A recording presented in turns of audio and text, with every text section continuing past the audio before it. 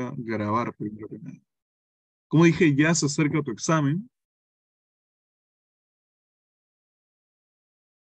Ah, ok, ok, muy bien, Akira, no te preocupes. Este, como ya les dije, ya se encuentra muy, muy cerca tu examen. Acá en Sensico sabemos la preparación que tienes tú con nosotros, nosotros contigo, y esa forma en la cual te hemos estado proporcionando la información necesaria todas las semanas para que tú, de una u otra forma, alcances el conocimiento óptimo necesario para poder resolver cada una de las preguntas en las distintas áreas, has llegado hasta este punto. Siéntete orgulloso, aunque tal vez no hayas entrado alguna, aunque hayas entrado recientemente a Sensico, ya con el ingreso seguro, siéntete seguro de ti mismo. Es lo único que te puedo decir. Antes de empezar cualquier clase, siéntete seguro de ti mismo en las respuestas que vayas a marcar, en cada una de las cosas que vayas a hacer. Sea ahorita, sea más tarde, sea con un par de meses, no interesa. La seguridad marca la mayor parte de las cosas que haces en una prueba. Así que si ya tienes eso, tienes un poco más de alcance quien, comparado con quien pueda tener un montón de conocimiento, pero no seguridad. ¿ya? Tú puedes tener un montón de conocimiento, pero dudas. Y al dudar, fallas. Si evitas eso último, estás ganando. Entonces, si tenemos eso en cuenta, ya has dado bastante de ti. Y si ingresas, mejor aún. Vas a demostrar que aquí hacemos las cosas muy bien. Ya. ¿Alguna pregunta por ahí, chicos, para poder resolver antes de iniciar la clase, que es esto, el tema de guerras, de guerra, Segunda Guerra, el tema final? Vamos a darle un repasito por ahí también, si alcanza el tiempo y no demás. ¿Alguna pregunta por ahí? Vamos con todo, dice Michelle, pero no leo, no veo los comentarios de los demás, chicos. ¿Dónde están los demás?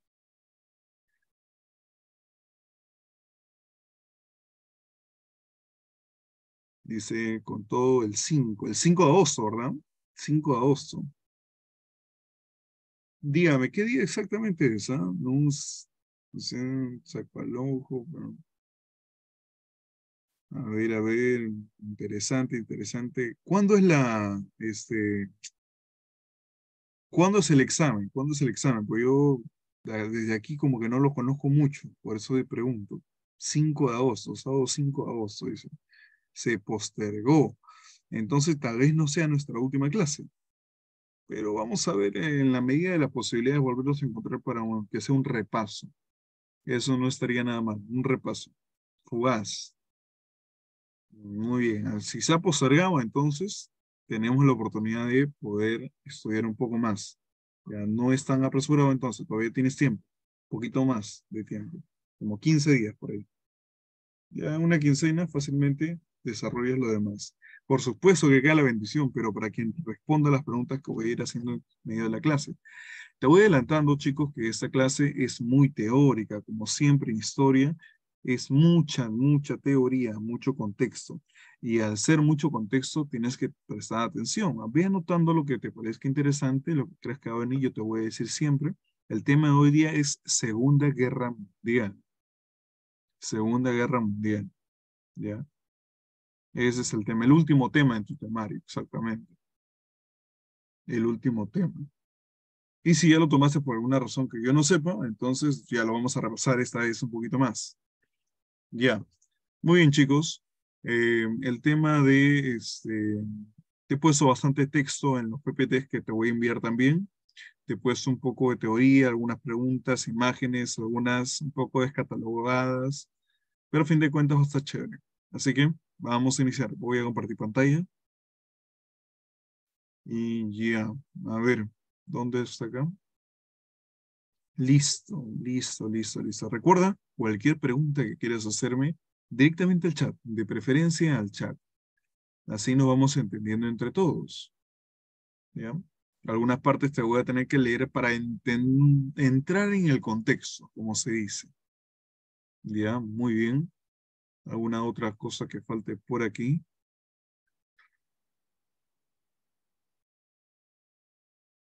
Te voy a dar tu momento para que tú respondas, no te preocupes. Ya, muy bien chicos. Vamos a dar inicio a la clase de historia universal, en este caso, en la Segunda Guerra Mundial.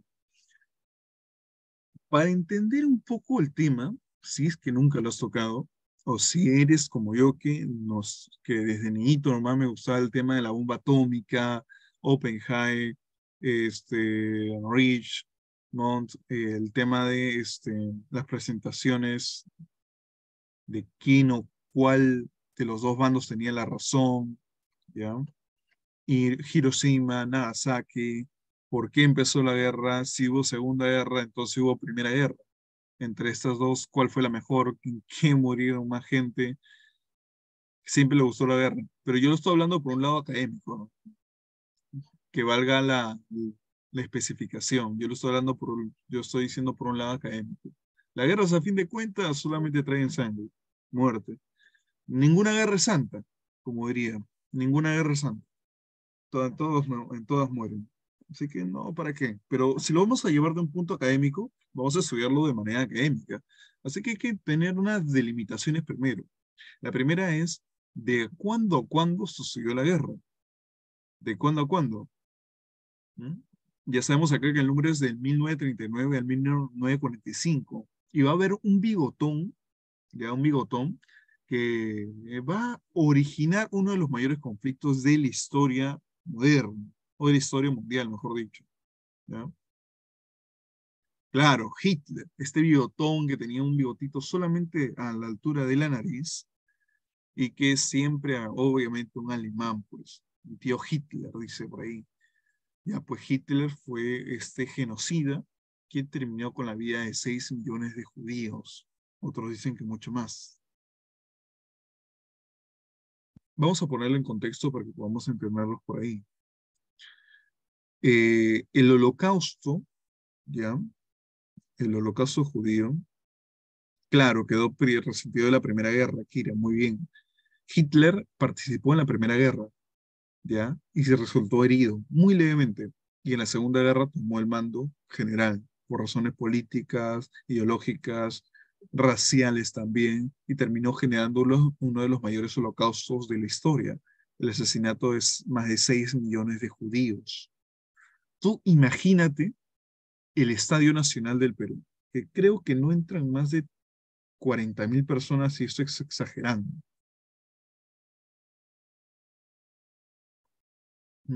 Claro, también está el tema de la, escuela de arte, el conservatorio de arte. Muy bien. Claro, también está por ahí la cosa. Pero quiero que te imagines para ver el tamaño, el tamaño de, de las muertes. Ubícate un estadio donde van a jugar un partido, no sé, el clásico y que en ese estadio, en el Estadio Nacional, creo que no entran más de 40 mil personas, y esto es, creo que no entran más de 30 mil. Exagerando. No, no sabría decir. Si alguien tiene el dato por ahí, magnífico. Ahora imagínate 6 millones. Multiplique ese número cuantas veces quieres hasta llegar a 6 millones. Y esto es que en la estadística se da por más. Me dijeron que fueron muchísimos más. Eh, profesor, me lo está diciendo esto por un afán casi mm, fetichismo de, de, querer espantarme o querer ilusionarme con un número así. No, en realidad es para que puedas ver un poco más que nada el alcance que tuvo eso. Mírate, por ejemplo, el tema de Hiroshima y Nagasaki, porque justamente es la foto que estamos viendo en la pantalla, ¿ya? Un hongo nuclear, que fue los primeros hongos nucleares, que arrasó con dos ciudades, en este caso, todo lo que había alrededor.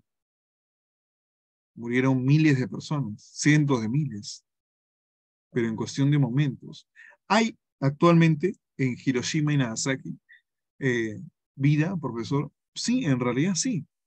en realidad vamos a poder encontrar que esas son ciudades eh, magnánimemente son ciudades magnánimas. En este caso están llenas de gente, de tecnología, obviamente porque vienen del gigante asiático. Hay un cuadrito, si ustedes ven uno que otro documental, en la cual todo, todo ese territorio ahorita actualmente está poblado y lleno de tecnología, un primer mundo.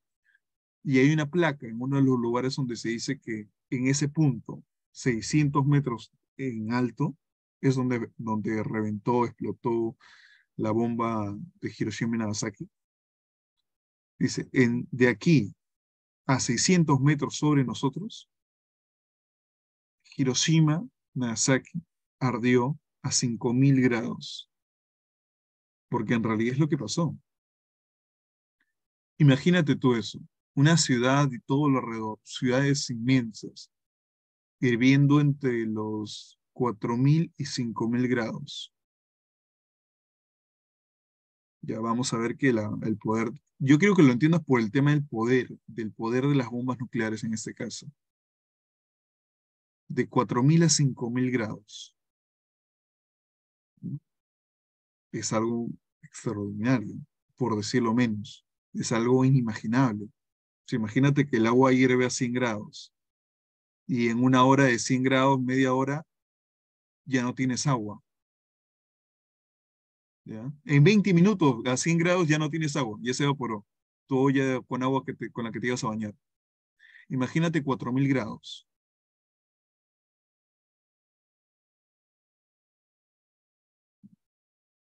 Es algo que ni siquiera lo puedes imaginar.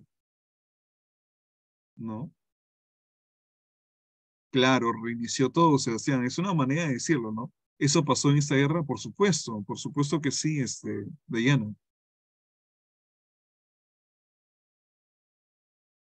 Claro, se creó. Y adivina quién, te voy a decir el dato. ¿Quién, qué personaje, un científico, estuvo inmerso en la creación de la bomba nuclear? ¿Tú sabes que Albert Einstein fue uno de los que estuvo metido en la creación de la bomba nuclear? Claro, ya, bueno, muchos lo conocen, ya hace años era un, era un mito, pero ya se conoce que sí, ¿no? Obviamente él no tuvo la necesidad, no tuvo el imperioso este, perquive de, de querer asesinar gente, ¿no? Simplemente es ciencia, ¿no? La ciencia no es mala ni buena, la ciencia es lo que es. La gente es lo que termina haciendo mal este tipo de cosas. Pero bueno, Vamos a ir avanzando, chicos. Te voy a dar más y más datos. Vamos a ir calculando. Necesito siempre que vayas escribiendo en el chat para yo poder, en este caso, este, ver cómo va avanzando la hora. ¿Ya? Muchas gracias. A ver, ¿qué más tenemos por acá?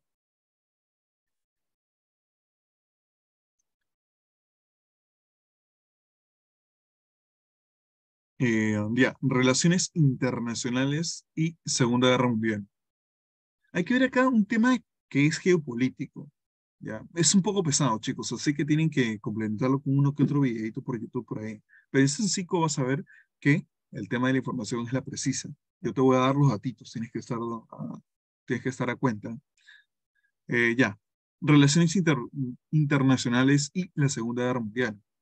Eh, primero, fundamentos de la paz. Tenemos la Carta del Atlántico, la Casa Blanca y Teherán, la Conferencia de Yalta y el Potsdam, que ya te voy a explicar más adelante qué es. La conferencia de Yalta es la más importante, no lo olvides.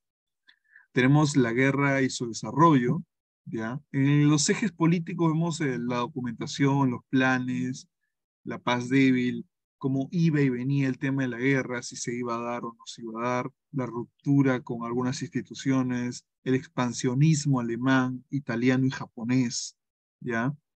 Eh, y cómo esto fue escalando para la guerra, ¿no?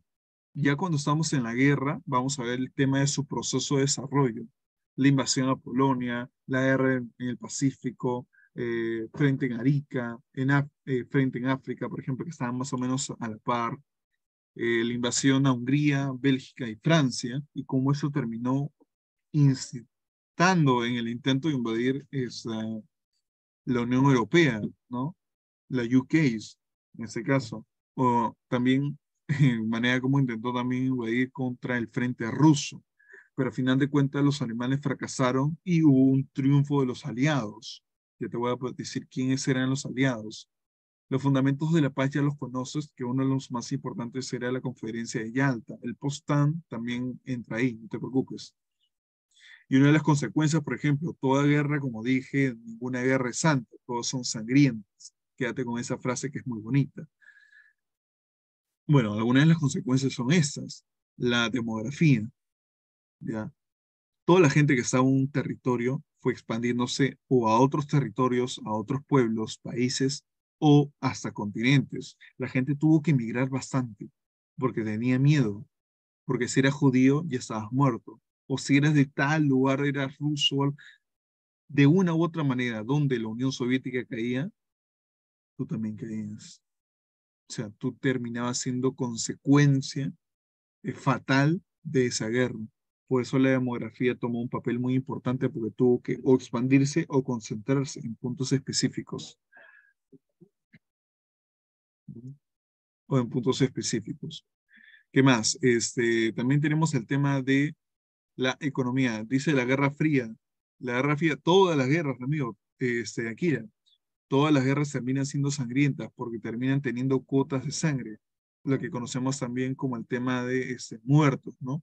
O termina teniendo este, cuotas económicas, ¿ya? De una u otra manera. Siempre es así. La demografía, la versión de la economía, como te, lo decía, ¿de dónde sale todo el dinero para la guerra? ¿De dónde Alemania tenía tanto dinero? ¿De dónde los rusos pudieron hacer un contraataque tan importante? ¿De dónde Estados Unidos pudo solventar a otros países en ese tiempo? Todo es un flujo general económico. Todo se movió así. Tanto como de un lado tenían para sustentar a otros, tantos de otros les vendían para poder este, hacer ese proceso de transacción. Porque a fin de cuentas, claro, los bancos tuvieron su papel importante, pero más que nada los bancos internacionales que en ese tiempo eran muy cortos. Así que otras naciones como Estados Unidos lo que hacía era emprestarles dinero a los países después de la guerra para que puedan, el plan Marshall le conocían, para que puedan regresar a su estatus, ¿no? No, Huancayo no, Huancayo no estaba en ese tiempo todavía. Y por supuesto, tenías que usar algo en la guerra. No usabas drones, no habían, tenías que usar armas la AK-47, la M38 y entre un montón de tipos de armas que existían en ese tiempo, ¿no? Las automáticas, las semiautomáticas, las bazucas, las granadas, los tanques, ¿ya? Los tanques rusos, por ejemplo. Una de las fallas que tuvo Hitler, recuerdo, fue a la hora de irse a invadir o querer darle la guerra a la Unión Soviética en ese tiempo. Ya, pues, fue imposible. Tú sabías que los tanques en ese tiempo eran tan poderosos que podían ir por el frío, pero los tanques alemanes, aunque tenían un concentrador de calor para sus, este, para los motores, no pudieron avanzar a la parte de Rusia. Rusia era tan frío, bueno, hasta ahora, tan frío que la propia gasolina, el propio combustible que usaban esos tanques se congelaba. En serio, se congelaba. No podían avanzar. Y por supuesto que el tema de la... Por supuesto que el tema de este, los refrigerantes que usaban en ese tiempo no se hacían no funcionaban de una forma correcta. En este caso, a la hora de llegar al punto del territorio de la Unión Soviética, terminaban haciendo un congelamiento o de los fusiles que usaban el tema de los inyectores de fuego o de las válvulas de, de petróleo que usaban también para, para poder mover los tanques. También teníamos los Panzers, que eran estos tanques soviéticos, tremendamente grandes y blindados además. Estos tanques también que resistían las balas, resistían los cohetes, resistían las granadas. Y obviamente tampoco los detenían, ¿no? Porque no tenían llantas como tal, era un sistema de engranajes que iba moviéndose. esos son más detalles que otra cosa. Tenemos también el, genocidio judío, ya estoy hablando de más de los 6 millones y medio de judíos que murieron en esta época. Tenemos el tema de la regresión territorial y las relaciones internacionales que se perdieron y se crearon en ese tiempo. Un momento, chicos.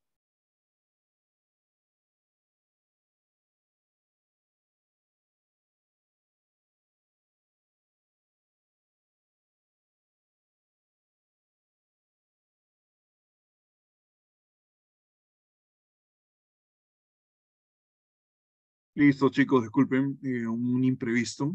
Tenía que arreglar acá el tema del foquito. Eh, bueno, las relaciones internacionales, eh, la pérdida de territorios de Europa, el Pacífico, la, la generación de nuevas relaciones internacionales como fue la ONU, la Organización de las Naciones Unidas, por supuesto que sí, y el inicio de la Guerra Fría. Por eso ya después, Ya, ¿qué seguimos acá? Vamos a ver. Primero, chicos, hay que ver el tema de los antecedentes. Muy importante cuando queremos utilizar un poco del tema de la guerra, este, la Segunda Guerra Mundial. Obviamente, Dante, si me vas a hablar un poco de la Segunda Guerra, también me deberías hablar de la Primera. Sí, sí es necesario, pero te voy a dar unos antecedentes generales. Primero, el cambio de relaciones internacionales. Estamos hablando de una época, y sitúate esto, imagínate esto. Estamos hablando de una época donde Hitler, de este bigotudo, narcisista, ególatra, asesino, genocida, entre muchos otros caracteres que le quedan poner, este, sube al poder en Alemania en enero, de, enero de 1933 y de esta forma consigue la expansión territorial. Él llamaba y tenía un eh, importante, este, digámosle, plan, otros le llaman pretexto, llamado el espacio vital, ¿no?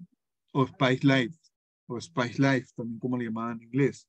En este caso, en alemán no me preguntes, por favor, porque ahí sí no me sale muy bien el alemán pero esta forma en la cual se le mencionaba a las naciones que, que, él terminaba conquistando, invadiendo, ¿ya? arrancando, este, que ellos decidían, que ellos podían decidir porque tenían este punto de espacio vital, ¿no? Ellos podían decidir si pertenecían a uno u otra nación.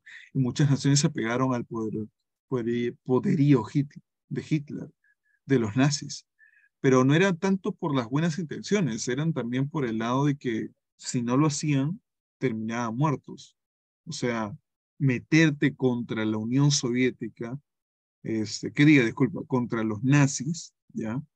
El Partido Socialista Nazi, nacionalista nazi en este caso, pues era una carta de suicidio en ese tiempo. Definitivamente, porque tenían poderío de todo tipo, político, armamentista, económico. Bueno, de esta forma él consiguió esta expansión territorial gracias al espacio vital. Hitler. También, lamentablemente, vulneró los acuerdos internacionales, como algunos que tenían sobre que, por ejemplo, para situarnos acá, en el 33, Alemania abandona la Sociedad de las Naciones, ya que era un precedente anterior, muy anterior a la Unión, al organismo nacional, ya, al organismo de Naciones Unidas, de la ONU, ¿no? Ya la Sociedad de las Naciones eran como un antecedente de la ONU.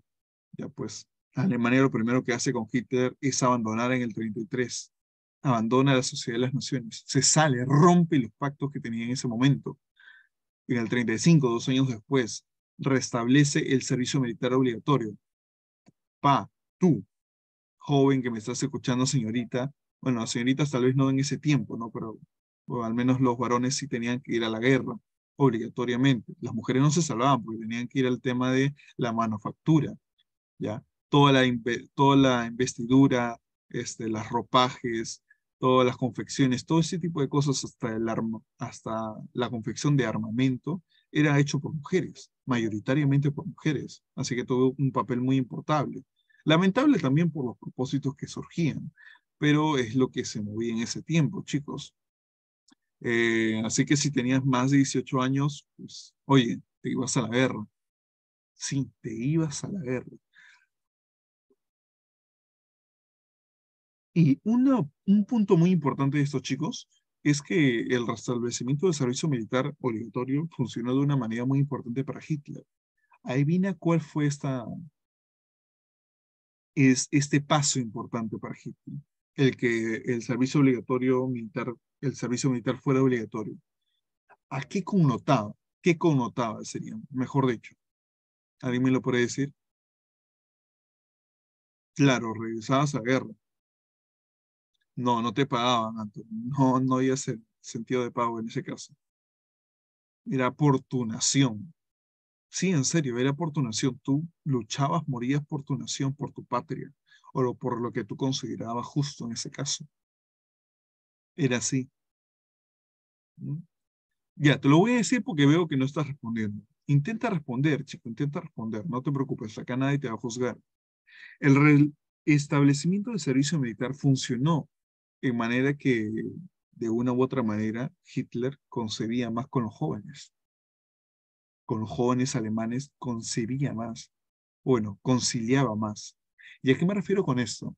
Pues mira,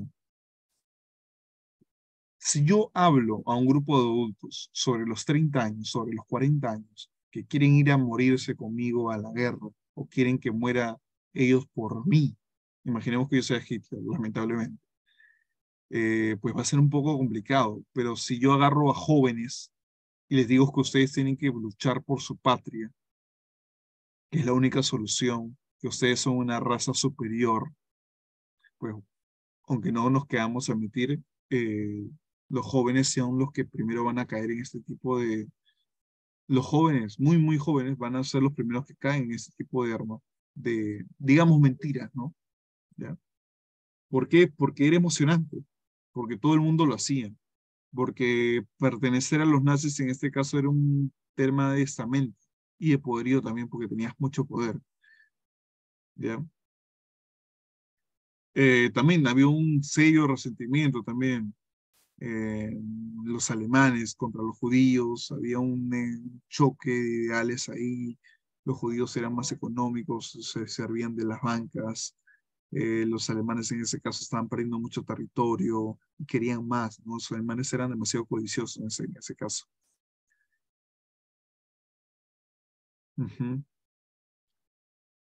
muy bien, Antonio, muy bien.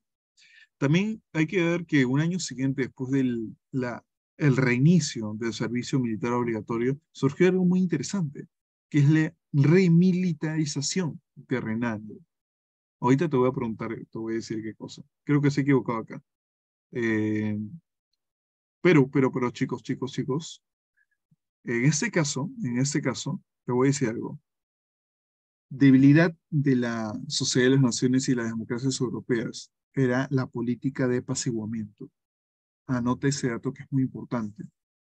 anote ese dato que es muy, pero muy importante, chicos. Muy importante. Una de las habilidades de la Sociedad de las Naciones y por tanto por el cual Alemania se salió de ellos en 1933 es porque sus políticas eran de apaciguamiento, querían la paz. Y Alemania y Hitler no querían paz como tal, o no querían conciliarse con otras personas. Ellos querían todo para ellos y querían luchar sangre, muerte, cuantos sean los cadáveres que quedan, quedan, queden regados. Claro, guerra sí o sí, ¿no? Ya, la política de apaciguamiento era uno, de los puntos por el cual Alemania, Hitler, se salieron de la Sociedad de las Naciones. Ellos no querían apaciguamiento, ellos no querían conciliación, ellos querían el poder. Míralo por ese lado, ellos querían el poder, así de sencillo. Hay que pensar también uno de los estamentos este, de los imperios en ese tiempo. Estamos hablando de la Segunda Guerra Mundial. Ya te dije que era del ¿qué año 39 al 45, en 1900. Vamos a ver el tema de también el imperialismo japonés de Asia. Un tema muy rico, no te voy a decir que no, era un tema muy rico en ese tiempo, ahí hasta ahora, el tema del imperio japonés el imperio asiático, el gigante asiático, como le decían. Oye, una cosa de que temer. No estamos hablando solamente por los samuráis de ese tiempo, no estamos hablando por la cultura asiática, que ahora es poco más de anime. Este, no estamos hablando por eso. Y Pamela creo que está por acá y hace muy buenas preguntas. Pamela, no, sírvete a preguntar lo que gustes. Ya, pero regresando al tema del imperialismo japonés, hay que recordar algo, chicos. Hay una, o había un, tema en, la regresión de la, ocupación de Manchuria, desde 1931 al 1933. Esto, aunque no creas, va a ser muy importante. ¿Por qué? Porque después pasamos al auge del fascismo italiano. ¿ya? Mira las fechas, mira las fechas. Tenemos a Mussolini, ya Benito Mussolini en este caso, eh, en la conquista de Etiopía, del 35 al 36. ¿Y qué te dije que había en ese tiempo? Un rearme, un rearme militar alemán. Ya, había un rearme. Todo el mundo tenía que tener, en este caso, bueno, o su milicia se había rearmado. el auge del fascismo italiano. Eh, pero Dante, ¿qué es un fascista? ¿Qué es un fascista? Ya, un fascista básicamente es un nazi, ¿no? Un fascista es una persona que tiene o que conserva una ideología tan penetrada en su ser, en su conciencia, que cree que en este caso Ya, muy bien, Christopher está entrando, a ver, vamos a darle el paso. Ya, un fascista básicamente es este, un radical, digámoslo así. Un fascista es un radical, ya, a favor de los totalitarismos. O sea, por ejemplo, si yo soy, este, imaginemos que yo sea blanco, en este caso los alemanes, blancos, arios, arios, hermano, arios, altos, todo, ellos se creían la raza perfecta, ¿ya? Y eran generalmente fascistas en este caso. ¿Por qué? ¿En qué momento se cree el fascismo? Se connota el fascismo. El fascismo en este caso se connota cuando tú no solamente te crees superior a alguien más, sino que no soportas la existencia de esa otra persona. No lo soportas, está por, por su condición de raza, por su condición de etnia, en este caso. Ya eso te vuelve un fascista también. Y obviamente, de una u otra manera, te vuelve un nazi o un neonazi, que son actualmente el término que se usa. Pero bueno, después de eso vamos a pasar al tema de la Guerra Civil Española. Un tema muy importante también porque duró del 36 al 39, ¿no? Acá vemos cómo Alemania e Italia disculpen chicos, cómo Alemania e Italia apoyaron al bando este, nacional franco. Por supuesto, ¿cómo apoyas al bando este, para que pueda ganar a favor tuyo? Con armamento, con armas, con municiones, con granadas, este, con protección de tus soldados también, el ropaje, todo, cada una de las cosas, hasta los cascos que tenían que ser bien, bien hechos, que dicho sea de paso, no, no eran bien hechos terminaba mucha gente muriendo de balas que atravesaban los cascos. Así que ni siquiera los cascos te podían salvar. ¿Qué más? Teníamos también el tema del armamento y la proporción de soldados. Oswaldo, te voy a contar. No solamente mandaban armamento, sino también mandaban soldados. Y esto también sucede porque la República contó con el apoyo de la URSS. Estoy hablando de la Guerra Civil Española, ¿no? Contó con el apoyo de la URSS. ¿Qué era la URSS? A ver, ¿quién me puede decir qué era la URSS? URSS.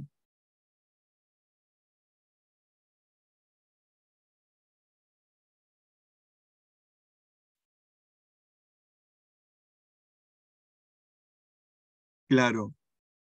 E, e, es más conocida como la Unión Soviética, ¿no? La Unión Soviética, la URSS la URSS, con R de Rusia, de la madre de Rusia en este caso, quien ya actualmente viene a Vladimir Putin, que está como gobernador ahí ya casi perenne. Vemos también el tema de alianzas, chicos. Aunque haya demasiadas divisiones, hubo alianzas. Vamos a ver dos ejes importantes. Acá primero en el 36, más o menos por la época donde se iniciaba la Guerra Civil Española.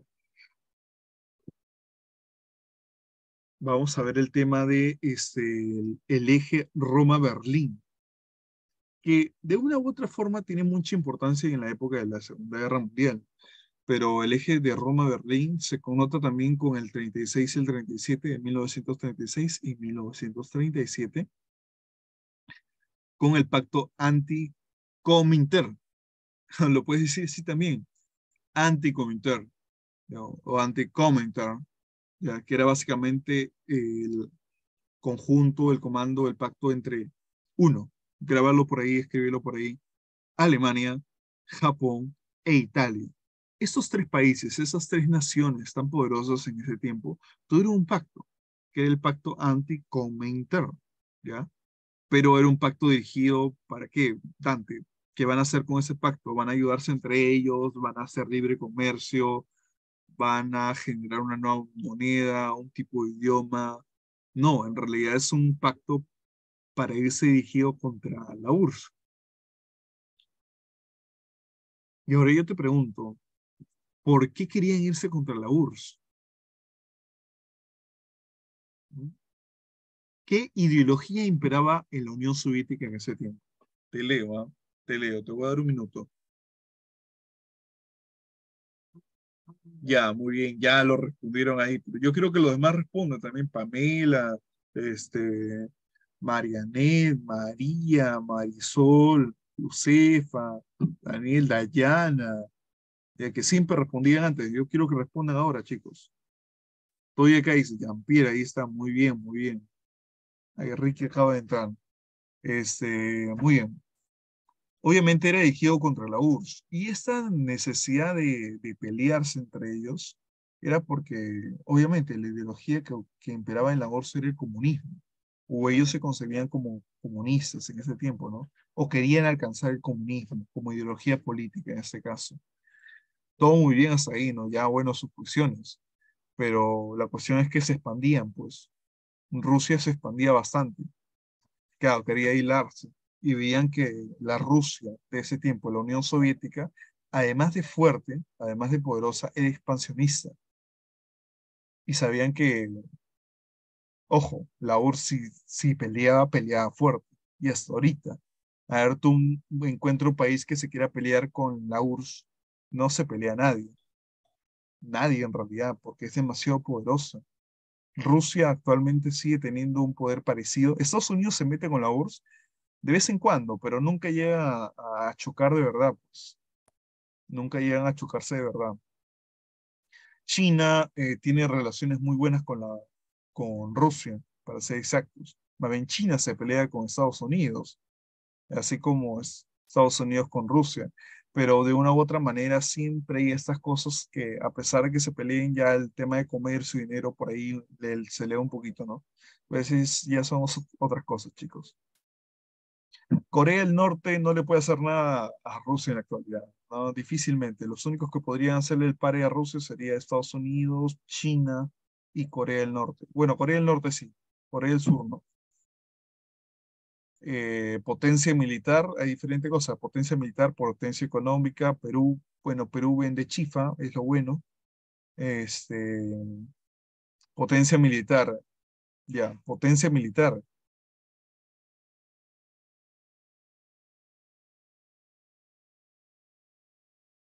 es posible que en potencia militar eh, Rusia esté ganando también.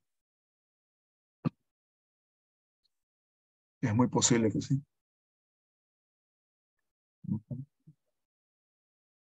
Ya, vamos a seguir chicos porque se nos va la hora también. Muy buenas preguntas, está muy interesante. Te voy a leer un poco del texto para que podamos entender un poco. Esa es una foto de Hitler, sí, eh, guapo no era, pero vamos a entender un poquito de por qué quería él conquistar otras naciones y qué se entendía él por espacio vital. Te lo voy a leer una sola vez porque el tiempo nos apremia, ¿ok? Dice, la posición económica de Alemania en Boston, muy brevemente, a grandes rasgos, es como sigue, o es lo siguiente en este caso. Eh, decía Hitler respecto al espacio vital nazi, ¿ya? que era una básica, una posición de sus excusas para poder tomar el poderío en otras naciones. El primero es, estamos superpoblados y no podemos alimentarnos por nuestros propios medios.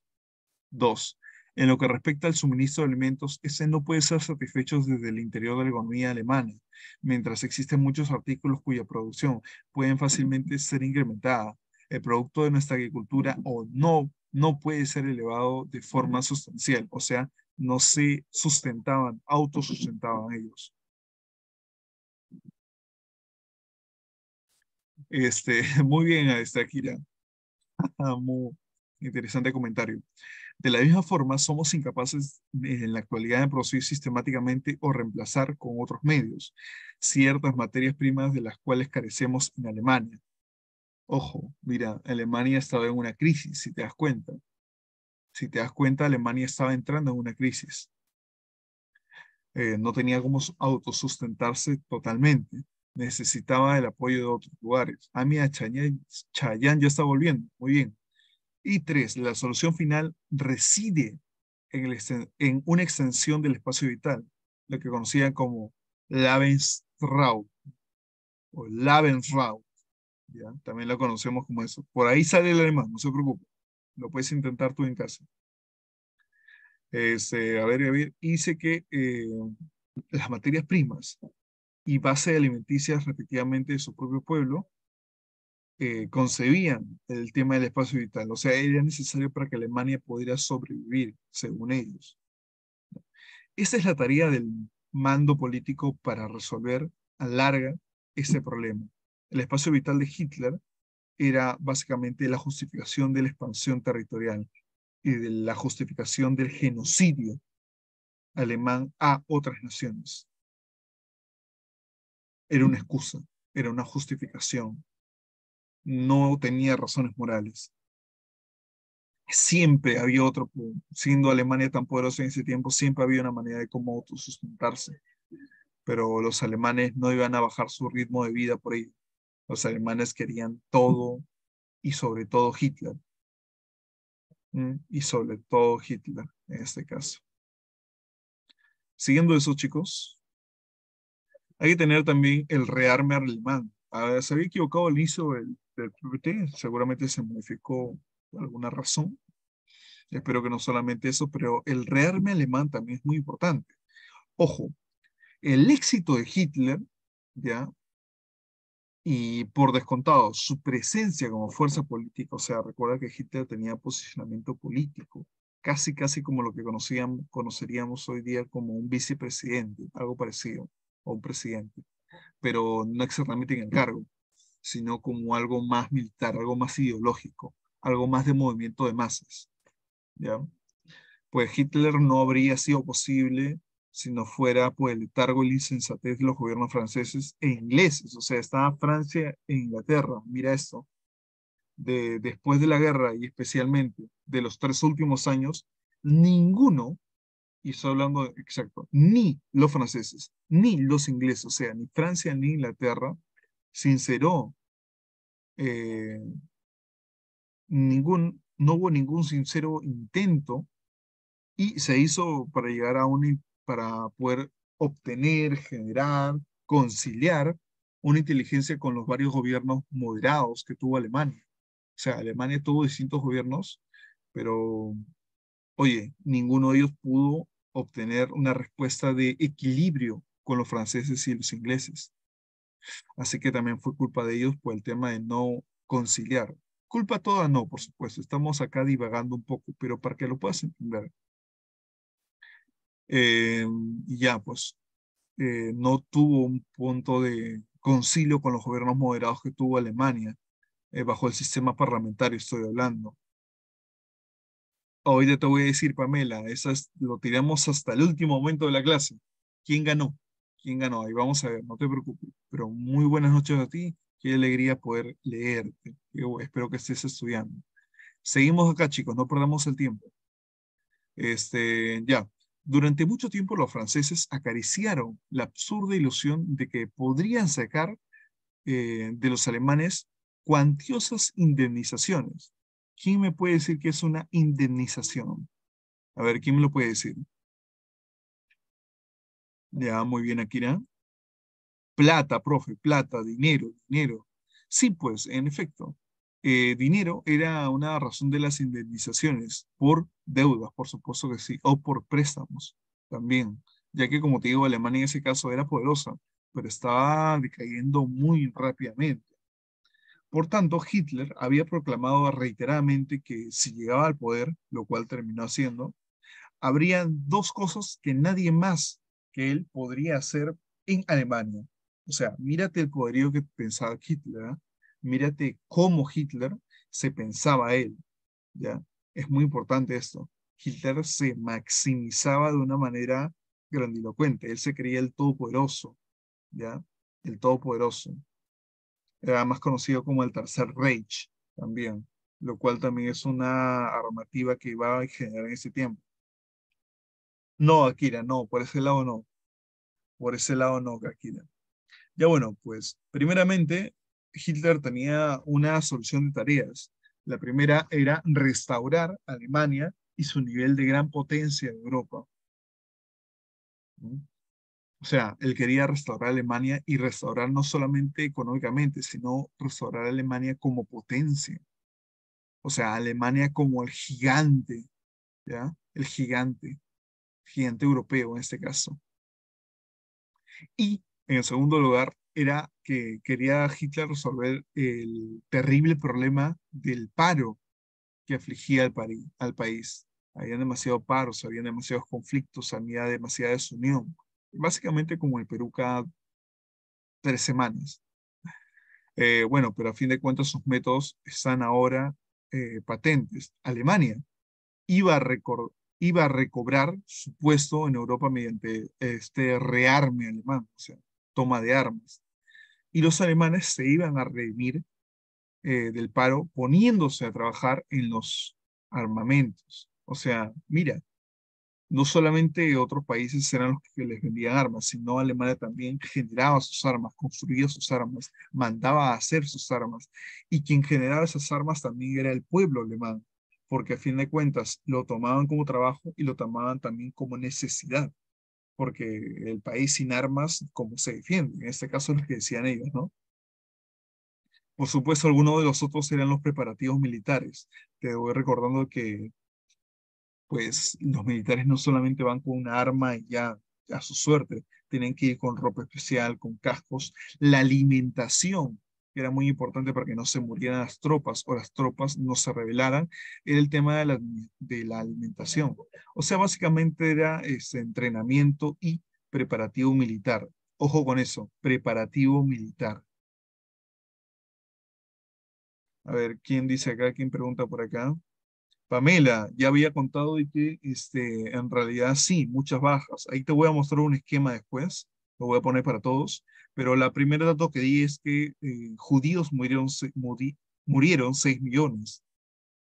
6 millones de judíos, este, Pamela. Y ya. Ahí te voy a decir cuáles son las otras cifras para que podamos seguir un poco asustándonos. No, no hay video, Pamela, no hay video. Eh, dice acá, eh, sus métodos a fin de cuentas, ¿no? Y así, de esta manera, Hitler y el poderío de la guerra, desde el año 1933 en adelante, todas las energías aprovechables en Alemania fueron dirigidas a la preparación de la guerra.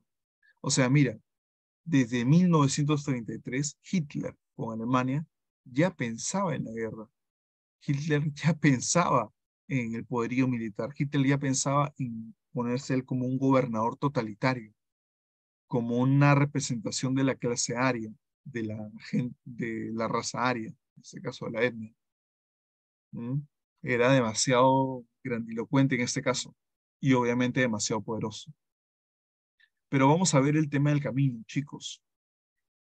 Por supuesto, hay que, hay que entendernos que hay un camino, hay un camino hacia la guerra y este camino toma diferentes fases. El primero se marca en el 1938, cuando Alemania incorpora a Australia, incorpora a Australia al Tercer Reich, por Archulz, como también le llamaban en otro idioma, en alemán.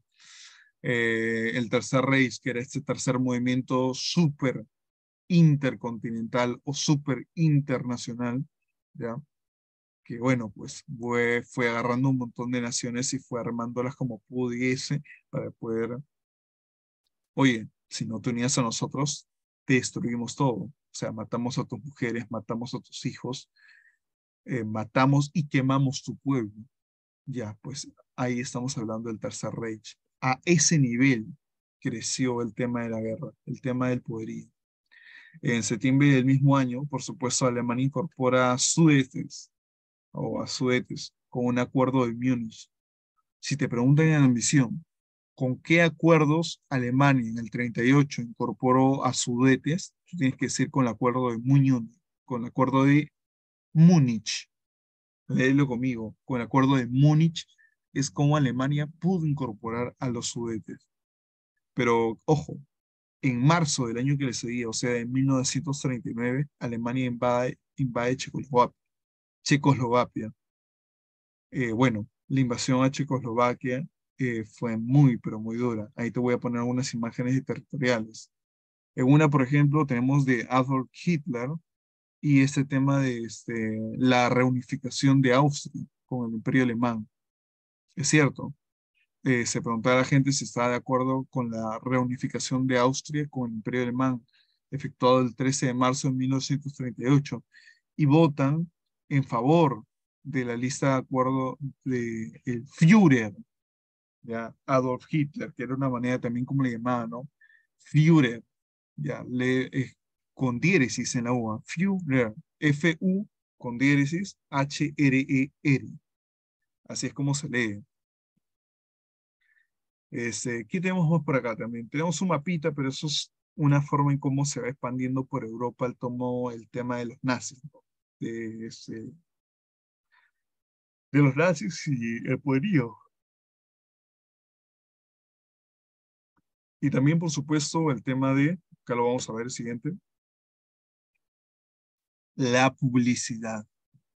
Dante, había publicidad en ese tiempo, había imprentas, una forma de imprentas había, ¿ya? Pero imprimían en este caso folletos. Era, esta, por ejemplo, es una estampita, no, no es una imagen, no es este, una invención falsa. Usaban esas estampitas hasta para poder enviar este, sus cartas, porque en ese tiempo se trabajaba por cartas. Ya, todavía lo ponían con la esvástica, este, lo ponía con el número que pertenecía y hasta dónde se iba esta carta. Hasta el águila de la esvástica. Mira, la esvástica, por cierto, es el símbolo nazi, es esta especie de juego de líneas, ¿ya? que forma una especie de cuadrado. Tenemos también que Alemania, eh, junto con el Reino Unido de la Gran Bretaña, ¿qué pasó con ellos? O bueno, Francia e Italia han acordado por lo que respecta a la cesión del territorio de Sudetes. Ya te había hablado de Sudetes, ya te había hablado de ellos. Eran siete puntos importantes que tienes que anotarlos, ¿ah? tienes que anotarlos. El primero, el tema de la evacuación y cómo esta debía empezar el 1 de octubre. Segundo, el Reino Unido de la Gran Bretaña, Francia e Italia en este caso, convienen en que la evaluación habrá de ser completa para, para el 10 de octubre, o sea, solamente 10 días, 9 días a lo mucho, ¿ya? En el cual tenía que hacer esta evacuación. Imagínate, nueve días para dejar todo lo que tú conocías y a las personas que querías y en la casa donde naciste, donde viviste estos primeros días su infancia. Reino Unido, no Italia, exacto, Alessandro. El 3 es como eh, los pormenores relativos a la evacuación serían fijados por la Comisión Internacional. Pero por supuesto que la ocupación escalonada comenzaría en los primeros, en el primer y segundo día de octubre. En este caso también se sitúa algo muy interesante, que era la Comisión Internacional en la que se hace referencia en el párrafo número 3. O sea, este punto de la visita territorial a las, a las cales este, y, a los previs, y a los plebiscitos que generaban en Alemania, ¿no? Un momento, chicos, disculpen, este, un segundo, ahorita vuelvo.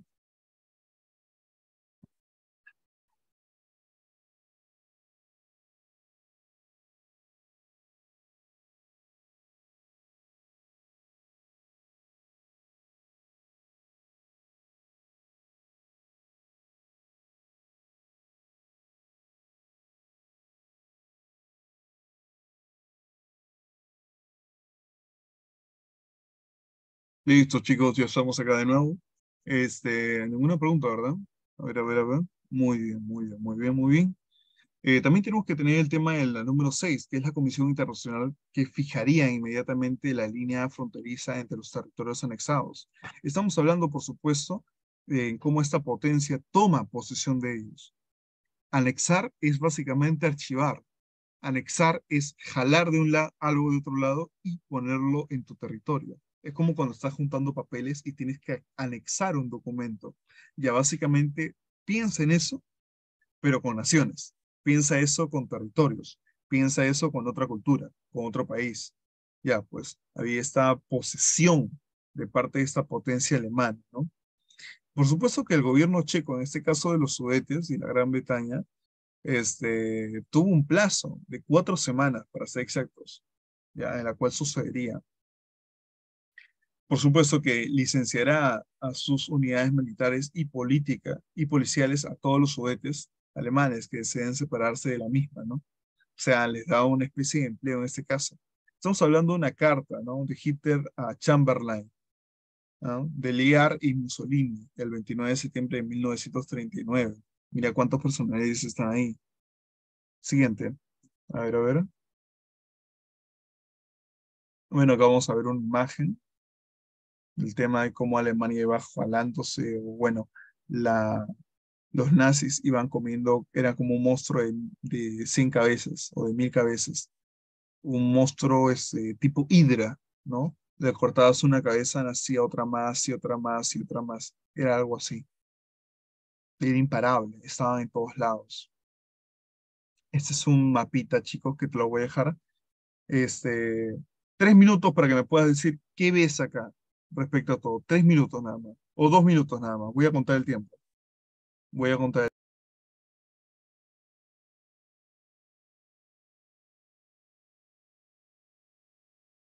Ya, dos minutos para que tú me puedas decir qué entiendes o sacas de este mapita que te acabo de dejar. Dos minutos, chicos, dos minutos.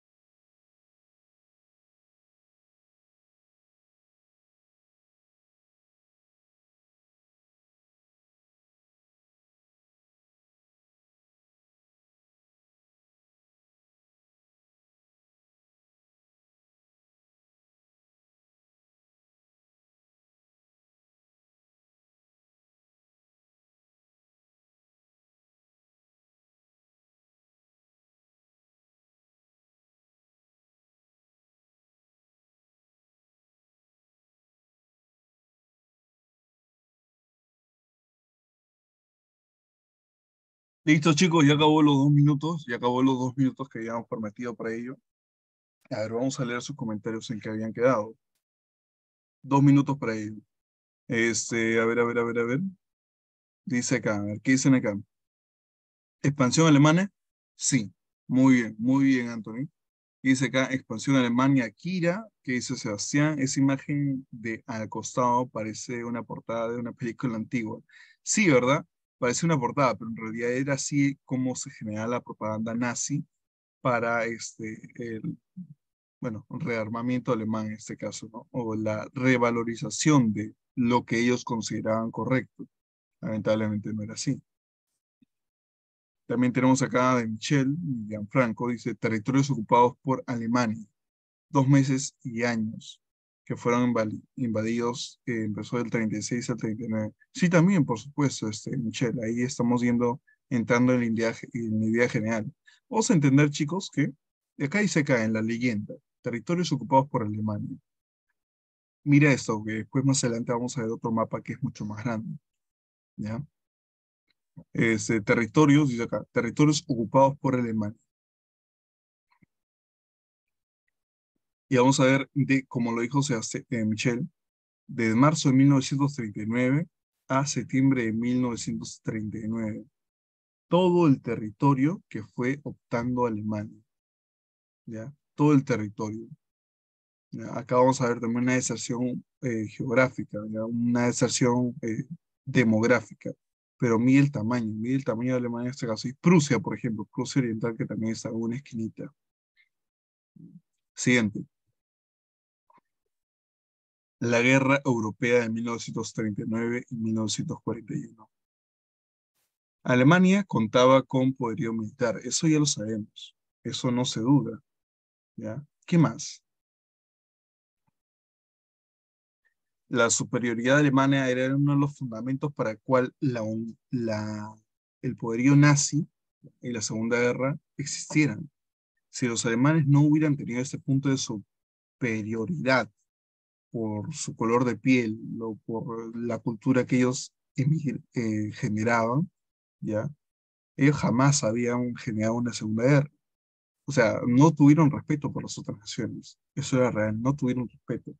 Su superioridad alemana, este, la excusa del espacio vital y todo ello generaba de una u otra forma, chicos, este, el el, la fragmentación de las naciones en ese caso en ese, tiempo. Por supuesto que la fabricación de armamento fue muy importante. porque sin armamentos en ese caso no podía ganar la guerra. Y Alemania vivía de armamentos, literalmente con eso se sustentaba. Siguiente. Tenemos también Alemania, ¿no? Y la guerra relámpago, cómo Alemania iba optando territorios de manera muy, pero muy veloz. Ya, muy veloz. Cómo su expansión no solamente fue en una sola dirección, fue creciendo como si fuera un hongo y expandiéndose muy, pero muy rápido. 1940, por ejemplo, cabe el ejemplo, atacó a Dinamarca.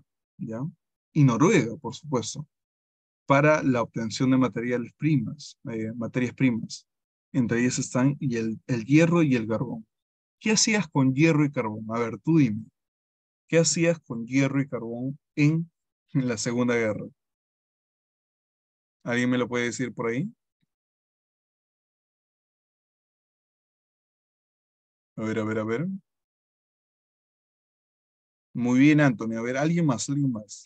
Yo sé que acá este, comentan todos. Quiero leerlos a todos, por favor.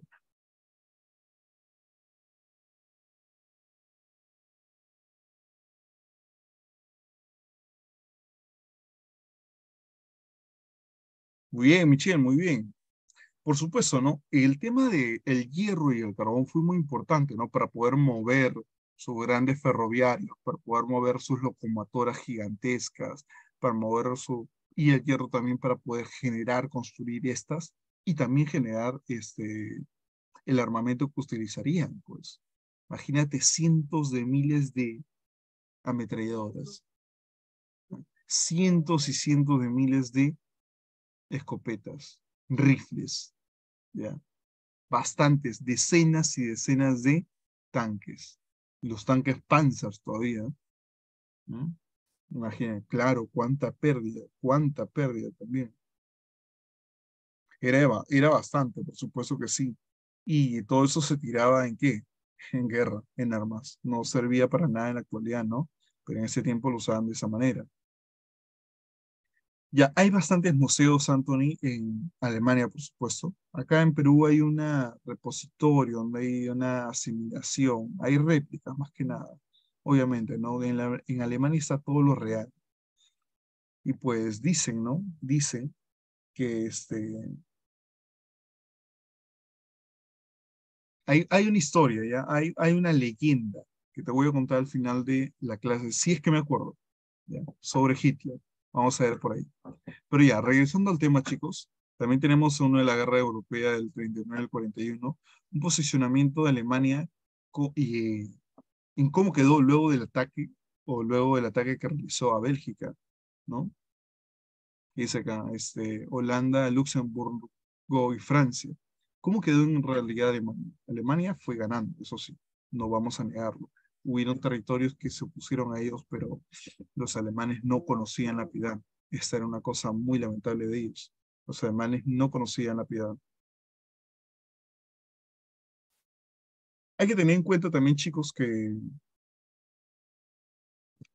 Aquí ah, te voy a decir, soltar el siguiente y último dato. A ver, ya. La batalla de Inglaterra. Por supuesto que sí, chicos. La batalla de Inglaterra, dicho sea de paso, eh, se generó puestos bombarderos, no te lo había contado, ¿no? Imagínate tú, imagínate esto. Imagínate en ese momento tú estás, estás, imagino, sentado y estás mirando al cielo, ¿ya? Mira, ya, imaginemos que estás mirando tu techo. Te invito a hacer esto. Cierra los ojos, ¿ya? Conmigo, cierra los ojos conmigo. Imagínate que estás en... Ya, Estás cerca a la playa, ¿ya? Parece todo tranquilo y por un momento escuchas, todo lo que escuchas este, es ruido blanco. Decían ahí los sobrevivientes de la guerra, es lo, que escuchabas más que nada era ruido blanco, que es este, que es este ruido como si fuera una línea, ¿ya? Por el tema de que hay tantas explosiones en todos lados que tus oídos no logran identificar los sonidos. ¿Ya? Queda ruido blanco. Ves al cielo y en vez de nubes, y, las nubes que habían que eran blancas, se volvieron negras, oscuras, porque todo el petróleo que generaban estos, este, estos bombarderos obviamente este, intoxicaba también no solamente la tierra, sino también el cielo. Y cuando te das cuenta y cuando se van todas las nubes por el tema del viento, hay 3.000, 5.000 este, avionetas, ya que eran estos bombarderos. O mira, ponte mil de estos, ya es increíble pensar en eso. Mil aviones en el suelo. Imagínate si ahorita, en la actualidad, tú que estás por tu casa y siempre cuando pasa un helicóptero suena de arriba hasta donde tú estás. A veces lo escuchas fuerte y está como a un kilómetro, y esto más, a varios kilómetros de ti. Imagínate mil de esos, imagínate dos mil de esos, y que tiren bombas tan fuertes que puedan explotar tanques. Sí, la reina Isabel lo vivió, este, Sebastián. Claro que sí. Sí, de horrible era, dice acá Pamela, profesor, pero ¿quién ganó? Porque en una guerra pierde población y dinero y armamento y la calidad y la caída del dinero. Sí, por supuesto que sí, Pamela, por supuesto que sí. Este, por supuesto que sí, pero no te voy a decir todavía quién ganó. Eso es hasta el final de la clase. Vamos a ver, que, vaya rápido el tiempo. vamos a ver. Ya, como te dije, la batalla, la batalla de Inglaterra habían los bombarderos en los puntos estratégicos. Obviamente no vas a tirar bombas porque sí, ¿no? Puedes hacerle daño a tu propio armamento, puedes hacerle daño a tu propia gente. Ya, pues los bombardeos, los bombarderos tiraban este, sus bombas, valga la redundancia, en puntos estratégicos, por ejemplo, eh, bases de las fuerzas aéreas, eh, las ciudades mismas, los generadores enormes, eh, que también generaban enormes pérdidas, y los civiles inocentes. ¿no? Obviamente, si tú quieres tomar una ciudad, si tú quieres tomar un pueblo, lo primero que atacas son sus vías de comunicación y son sus vías de transporte. Y también, por supuesto, su vía de fuerzas. Yo, en principio, atacaba las vías de fuerza y la vía de transporte. Y por último, las comunicaciones la vía de fuerza para que no se puedan defender, la vía de transporte para que no puedan escapar y la vía de comunicaciones para que las otras ciudades no se enterasen de que estaban siendo atacados. Imagínate el armado de todo eso. Era una cosa increíble, lamentable pero increíble al mismo tiempo. Acá vemos una de las imágenes también, chicos, de, bueno, estos combatientes en este caso. No eran los nazis, esos, si mal no me equivoco, no eran nazis, esos eran, estaban, a ver, a ver. No, sí, sí eran nazis, sí eran nazis, sí eran nazis, me estoy equivocando, ya iba a decir otra cosa. Sí, acá Pamela pregunta, profesor, si hay una guerra, ¿qué país apoyaría Perú? Ya, mira, suponiendo que hay una guerra, ¿ya? No, no, USA no, no le importamos tanto. Yo, tengo mi teoría, ¿ya? Se lo voy a cortar en este momento para poder este, hacer un hincapié. Si hubiera una guerra, chicos, los países latinoamericanos posiblemente podrían meterse ahí de a poquitos, pero sería un poco inútil. Si, una, si un país quisiera este, ayudarnos a nosotros antes que a ellos, podría ser fácilmente, este, Inglaterra ayudaría a Chile, eso sí lo tengo seguro. Al Perú no sé quién lo ayudaría. Te, lo, te soy sincero.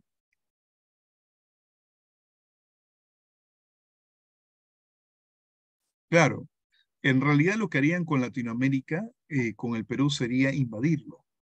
No tanto como rescatarlo, ¿no? Porque a nosotros nos sirve más con, con el tema de, de nuestros recursos, como que nosotros no les importamos tanto. Ya, los chinos podrían ayudarnos, tal vez, ¿no? Tal vez. Pero los chinos están preocupados por las cosas de chinos, así que no se van a meter con nosotros. A nosotros fácilmente nos podrían invadir y sería más fácil que ayudarnos, en realidad. Y eso lo puede hacer tanto China como Estados Unidos, como Rusia, como cualquiera. Somos muy invadibles, digámoslo así. Nuestro poderío militar es muy pobre. Dante, eh, profesor, ¿por qué has puesto esa imagen donde Hitler se está eh, casando con el líder de la Unión Soviética de ese tiempo? A ver, tú me sacas el nombre, Stalin. ¿Por qué? Ya, esa es en realidad era una forma en la cual eh, los medios de comunicación en ese tiempo se reían un poco de cuánto durará cuánto duraría la luna de miel, o sea, cuánto duraría el tema de este, la pelea de Polonia o la pelea por Polonia, ¿no? En cosa que era ocupada por la URSS, que al mismo tiempo era ocupada por Alemania, ¿no? O sea, Polonia estaba dividida y Alemania quería todo Polonia, pues la URSS no quería ceder obviamente parte de ella, ¿no?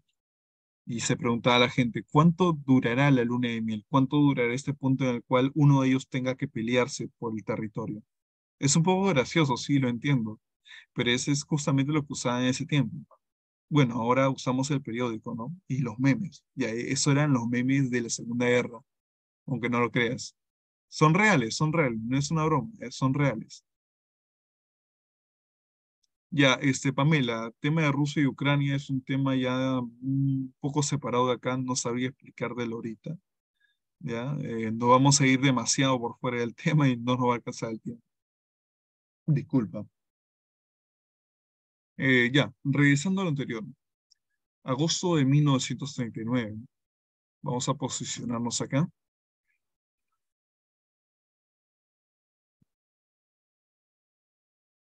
agosto de 1939.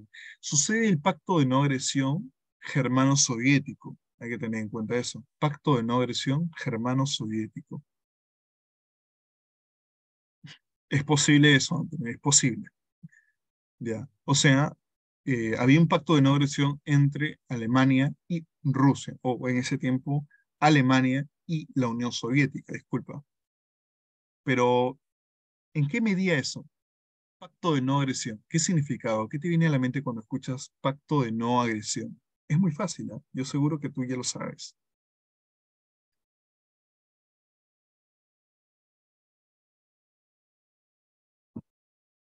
A ver, a ver, Michelle, obvio, obvio, obvio, pero quiero leerlo, quiero leerlo ustedes. A ver, Pamela, Dayana, que está calladita ahí, no, no sé si estará escuchando la clase o no. Claro, un pacto de no agresión era básicamente un pacto por la paz, era un pacto por el cual esas dos naciones no podían atacarse. Pero adivina qué hizo Hitler. El 1 de septiembre del mismo año invade Polonia. El 1 de septiembre del mismo año invade. O sea, se zurró, por, decir, por así decirlo de una manera vulgar, disculpen, pero se rió en el pacto de no agresión apenas Hitler tuvo la oportunidad, se rió de eso y lo rompió. Claro, muy bien, Akira. Hitler quería este, invadir Rusia, en efecto. Hitler quería invadir Rusia, pero no lo habría podido hacer. No tenía el armamento, o sea, frío de frío era Rusia. Ahí te congelas si no tienes algo con que cubrirte. Ya, eh, ¿Qué pasó dos días después? El 3 de septiembre de 1939, o sea, del mismo año, Francia y Gran Bretaña declaran la guerra a Alemania. O sea, Alemania rompe el tratado o el pacto de no agresión con la URSS, y en ese caso Francia y Gran Bretaña este, se pelean, le declaran la guerra a Alemania, porque a fin de cuentas todos están en este punto de la este, unión de las naciones, ¿no? O la sociedad de las naciones. ¿no? Bueno, pero Francia y la Gran Bretaña dijeron, no, pues Alemania no puede estar invadiendo países porque se le da la gana. Esto no es así, hay que tener un poco de respeto. A Francia y a la Gran Bretaña no le gustaron eso y le declararon la guerra a Alemania, a los alemanes, a Hitler. Dice acá por acá Kira, profe y profesor. Profesor, y por eso perdió con Rusia. Los alemanes se morían de frío y los rusos paraban sin polo y todo nice. Es una forma de decirlo, Akira. En realidad los alemanes sufrieron mucho con el frío ruso, no con el clima de la URSS. Por supuesto que sí era demasiado pesado para ellos. Dice otra pregunta, profesor, ¿antes permitían el matrimonio del mismo sexo o género? No, Pamela, lamentablemente antes no lo permitían, ¿no? Era muy cerrado. Por eso es una imagen que hace una especie de chiste este, o una especie de mofa al tema de cómo Hitler y Stalin no concedían por el tema de, este, de quién se quedaba con Polonia. Esto básicamente hacía el tema del pacto de no agresión. Claro, es un chiste en realidad. No es que lo haya inventado yo. Son pequeñas imágenes que creaban, dibujos que creaban en ese tiempo. Siguiente. La guerra se hace mundial. Por supuesto, si hablamos de una guerra mundial, abarca todo el mundo y afecta de una u otra manera. De una u otra manera. Ojo, que el Perú también vendía materia, vendía materia, la pri- materia prima.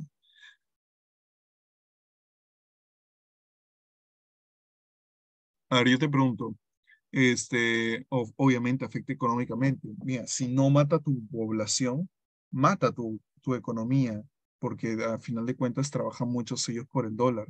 El dólar en este caso subía exorbitantemente por los euros. Yo te pregunto, ¿qué tipo de materia prima eh, vendía Perú a esas potencias en ese tiempo? Quiero leerte. Sí, también es Shakira, no exactamente para el combustible, sino para las tierras, porque la gente necesitaba producir este, lo que la tierra le daba, ¿no? Pero ¿qué otra materia prima? Estoy hablando minerales, minerales.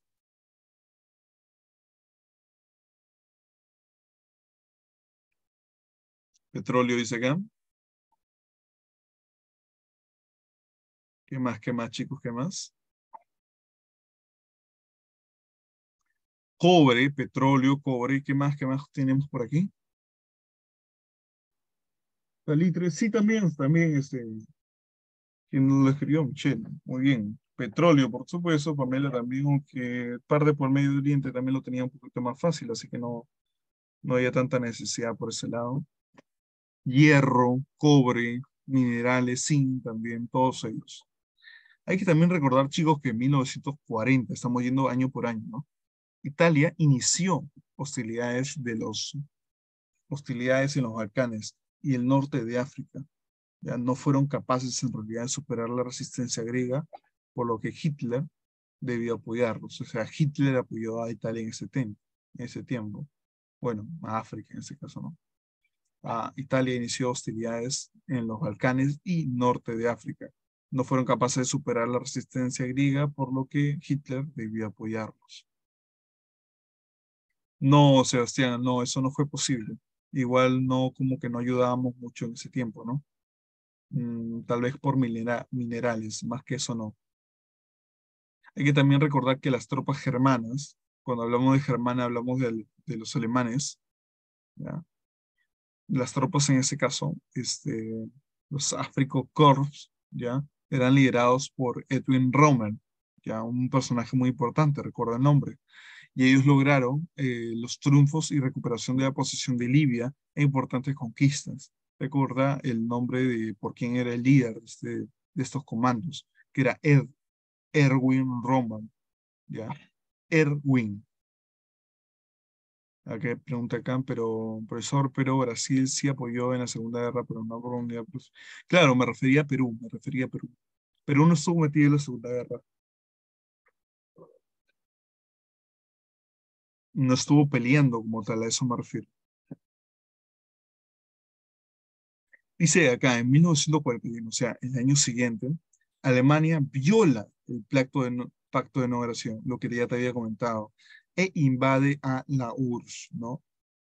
Ah, cereales y petróleos, era una cosa que se repetía bastante. Eh, cosa también perjudicial, ¿no? Para los alemanes, porque el frío del invierno y la estrategia tierra quemada provocó el estancamiento alemán.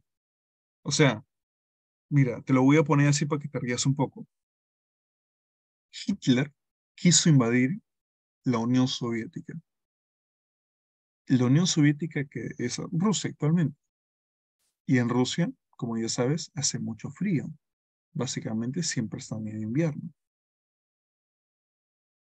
Ahí viene en qué época del año Hitler se le dio la, gigan- la increíble idea de ir a invadir la Unión Soviética. ¿En qué época del año? En invierno. En la época donde hace más frío, me voy a, a un país, a un territorio donde ya de por sí hace frío. y donde, donde mis tanques y mi armamento se congelan. Y donde mis este, hombres ¿ya? terminan muriendo por hipotermia. Terminan, la mayoría del ejército nazi en ese caso murió por hipotermia. Esa no la sabías. Buen dato, buen dato, allá. Ahí está, Dayana, de, recién la, la leo después de tiempo. Muy bien. Siguiente, vamos acá con un poquito de, texto porque es necesario para poder entenderlo. A ver, acá, vamos acá, a ver, a ver. Ya. A ver, a ver, ¿qué acá?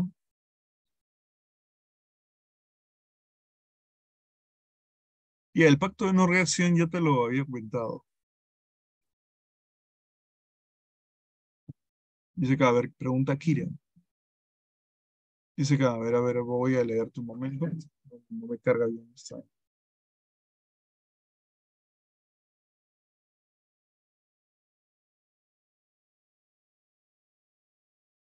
Dice que, a ver, a ver, a ver, un momento. Dice Akira, este, profesor, eh, chicos, una cosa sí, les voy a comentar. Una forma de respeto eh, que yo sí valoro mucho es cuando no se hacen diminutivos a los cargos, ¿no? Eh, no, no es ningún tipo de vanidad, eso sí quiero que quede muy en claro. Pero es una forma en la cual al menos mis maestros siempre me enseñaron, ¿no? Sí, profesor completo, profesor, ¿ya? Eh, como dato te lo doy, así como para poder conciliarnos un poco más. Siempre los modales van por delante, ¿ya? Pero a fin de cuentas, yo los leo siempre. Dice acá, eh, profesor, pero el fallo de Hitler era de que se creía pulpo, quería invadir a todos lados a la misma vez. Muy bien, eh, Kira, tienes mucha razón en este caso. Hitler se creía un pulpo, porque en realidad quería expandir su territorio a más no poder. Pero obviamente cuando tú, oye, si mucho, mucho abarcas, poco aprietas, como dice mi abuelita, ¿no? Si mucho quieres agarrar, poco vas a lograr. Es como que tú quieres agarrar un montón de arena en tus manos. Ve a la playa y quiere agarrar un montón de arenas o un montón de piedritas. No vas a poder. Muchas de ellas se te van a derramar, se te van a este, escapar. Y ese es el problema.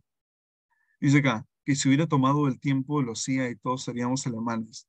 Lo dudo, este, Akira. Te juro, te juro por más de lo que yo crea que si Alemania, los nazis hubieran ganado la Segunda Guerra y se hubieran expandido y hubieran llegado a América Latina, que muy posiblemente llegaban, eh, nosotros no existiríamos. Tus padres y tus abuelos no habrían existido. Uy, no, tus papás, tus abuelos, no, si tus abuelos tampoco no habrían existido. Habrían se habrían desvivido, como dicen otros lados. ¿no? No habrían, no habrían ni nacido tal vez, o habrían muerto muy niños. Porque los alemanes tenían algo muy importante que ellos concedían como la justificación para ellos. Ellos se concedían como la raza superior. Arios. Arios son blancos. Arios altos. Eh, rubios. Y en este caso también hay que entender que, hombre, nosotros no somos ni blancos ni rubios, o sea, en general, ¿no? Y en ese tiempo menos. O sea, nos habrían matado. Eh, a ver, a ver, no, no te preocupes, no te preocupes. Claro, nosotros somos color cartón, así que es imposible, no habríamos muerto. ¿Los Estados Unidos habrían defendido? Sí, pero no sé cómo habría, eh, no sé cómo habría terminado la guerra en ese caso si hubiera llegado a Latinoamérica. Mm, no sabría decirlo. Eso ya son especulaciones de la historia. Dice cada profesor, pero hubiéramos nacido lo que... claro, es que nosotros no, no seríamos nosotros, pues, o sea, nosotros no existiríamos. No, no tendrías conciencia de algo que no existe. Pero ya, esas son otras preguntas. Regresemos al tema de este, lo que estamos haciendo acá. A ver, a ver, a ver. Sí, sí, sí, disculpa, Michelle. Dice acá, el desarrollo de la guerra. Una imagen acá para, para poder ir entendiéndonos. Vamos a ver las fuerzas enfrentadas. Los países aliados, por supuesto, estaban el Reino Unido. Mira este cuadrito muy bonito, tómale captura si gustas. Tenemos al Reino Unido, a los Estados Unidos, a la Unión Soviética, a Francia, cuando estaba libre, a China, a la Commonwealth, después te voy a explicar qué cosa es, y a América Latina, ¿no? Eran los países aliados. Las potencias de eje ya eran Alemania, Italia, Japón, Hungría, Eslovaquia, Finlandia, de la cual se habla de la mejor educación del mundo, Croacia, Rumanía y Bulgaria. Eso no te lo puedo decir ahorita, Sebastián, eso ya en realidad era más que nada por el tema de, razones políticas, no era tanto como que iba, ¿no? El Perú también tenía un pacto de que sí, sí apoyaba a los países aliados, estaba en contra de los nazis. Sí, por partes, pero sí. Eh, Rumanía y Bulgaria, los países eh, potencias del eje. Y los países también, porque había otro lado, que eran los países neutrales. que era un país neutral? A ver, tú dime a mí, que era un país neutral? ¿Qué entiendes tú como país neutral?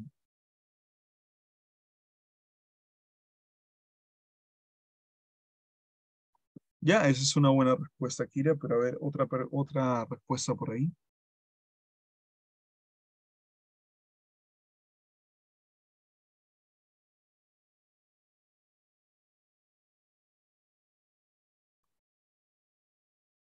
Claro, que era neutral. ¿Qué significa neutral?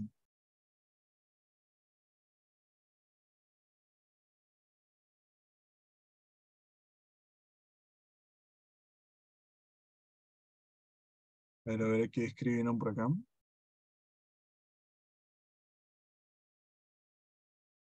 Claro, muy bien, observadora Kira, que no apoyaban a ninguna causa de la guerra.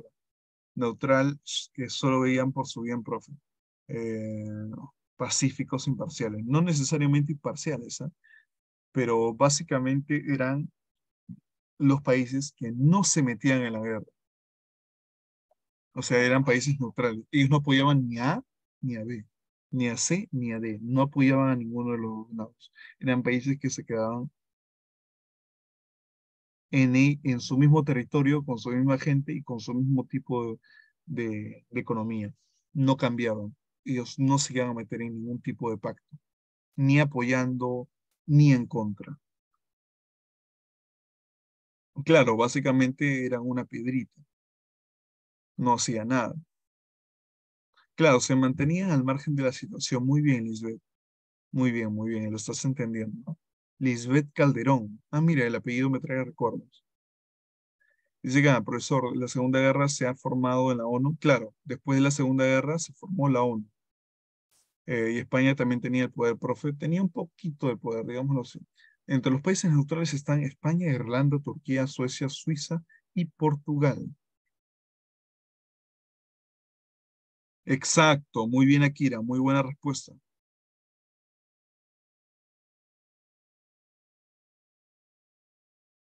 Ya, acá te voy a dejar una línea de tiempo para que podamos ir entendiendo los chicos. Esta le puedes tomar captura, igual después te voy a pasar el PPT eh, de la clase, no te preocupes. Era una línea de tiempo muy bonita, con esta vamos a ir entendiendo las cosas. De el lapsus de la, de la guerra. Primero, la victoria del eje del 39 hasta el 41 y la victoria de los aliados. La victoria del eje, la invasión a Polonia el 1 de septiembre, la derrota de Francia el 22 de junio del 40, la batalla de Inglaterra otoño en noviembre del 40 también. En el 41 tenemos la invasión alemania a la Unión Soviética el 22 de junio, para ser exactos en casi llegando al 42 ya por noviembre ahí, el ataque japonés ya a Pearl Harbor el 7 de diciembre de 1941.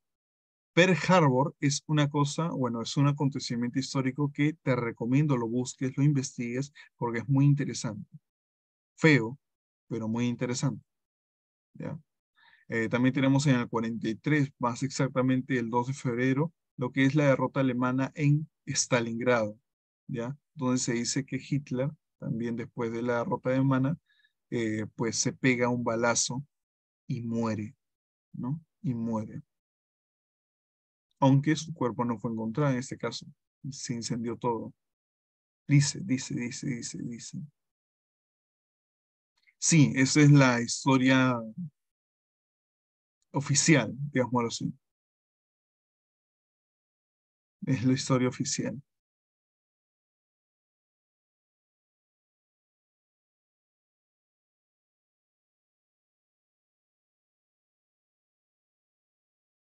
Tenemos también, chicos, el tema del desembarco de Normandía, que de hecho hay una película, ¿ya? Sobre el desembarco de Normandía el 6 de junio de 1944.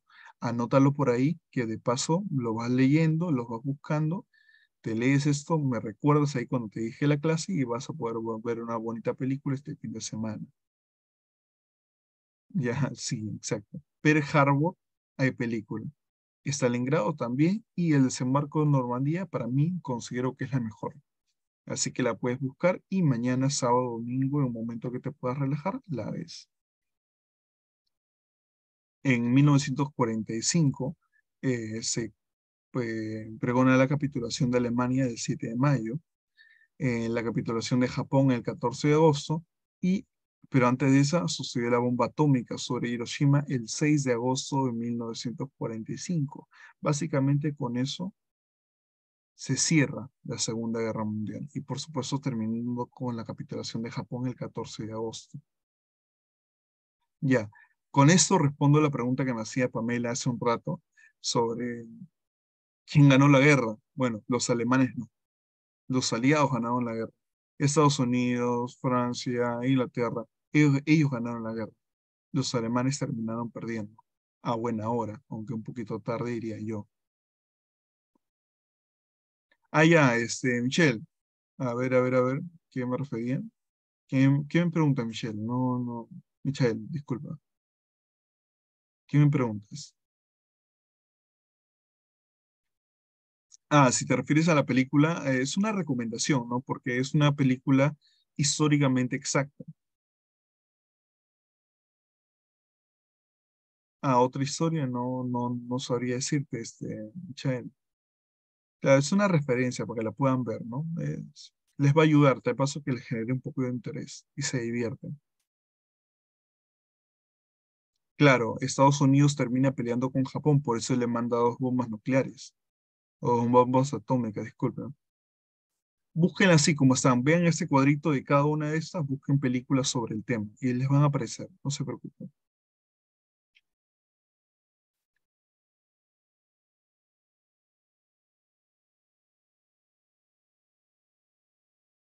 Claro, también, Sebastián, también.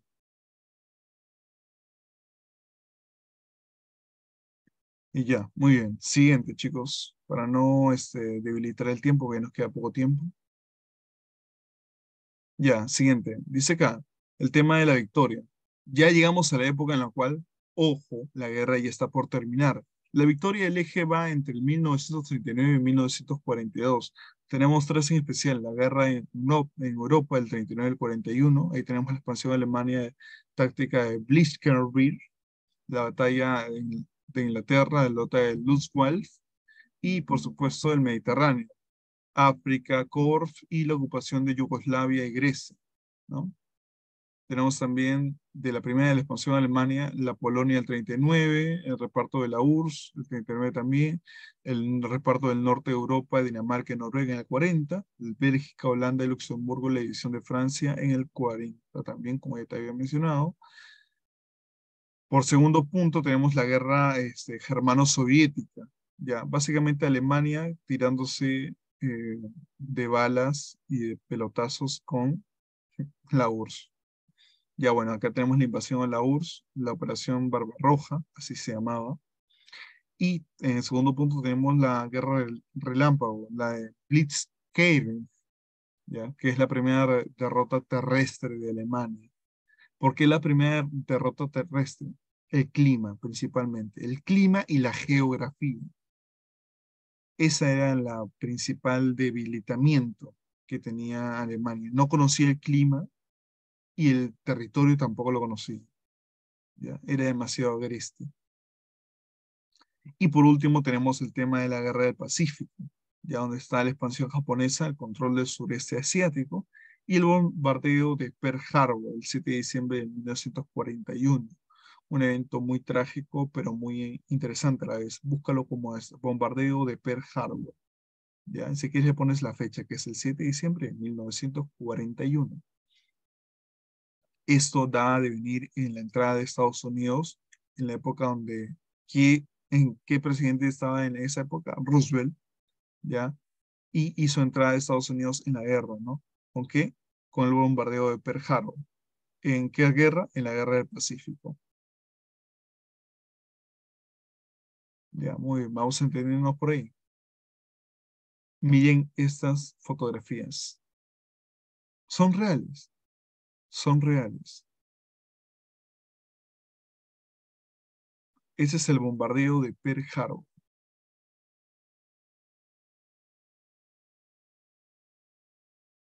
Ustedes ya, te voy a dejar como tarea para que puedan buscar ustedes. ¿Qué, ¿Dónde es Pearl Harbor? Ya, tú mismo lo vas a buscar. Fue un 7 de diciembre de 1941, chicos. Sí, por supuesto, da miedo, da mucho miedo esos tiempos. Japón ataca a la base naval norteamericana de Pearl Harbor en Hawái el 7 de diciembre de 1941 y el conflicto se extendió a otros continentes.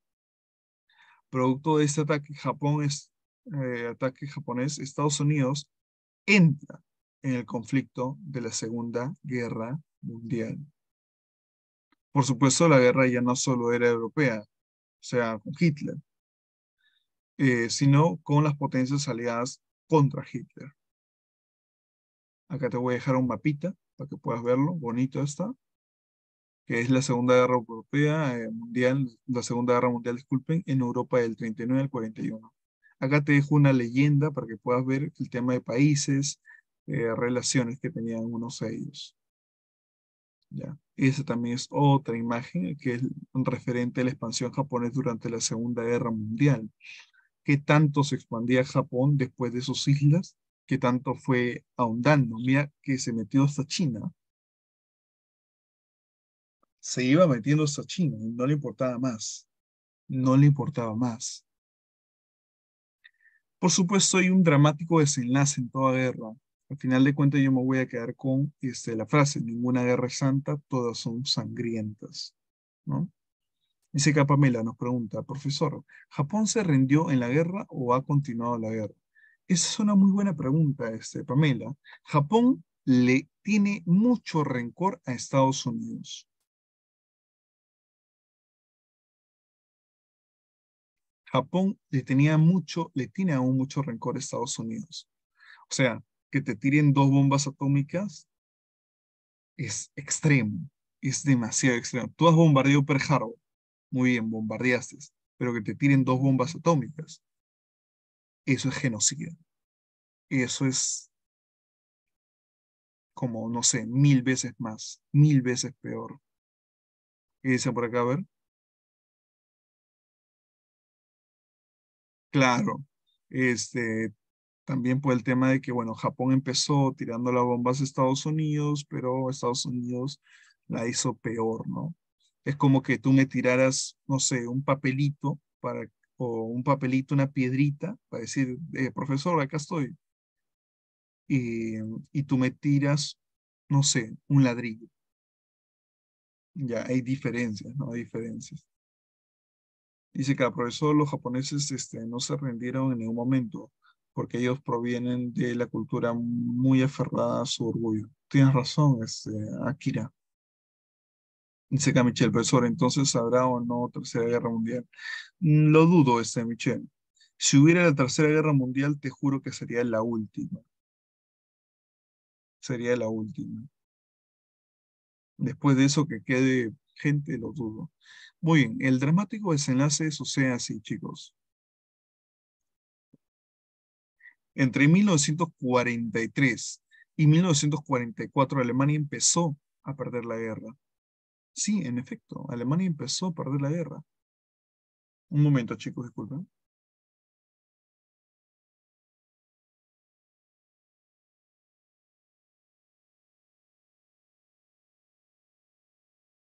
Ya.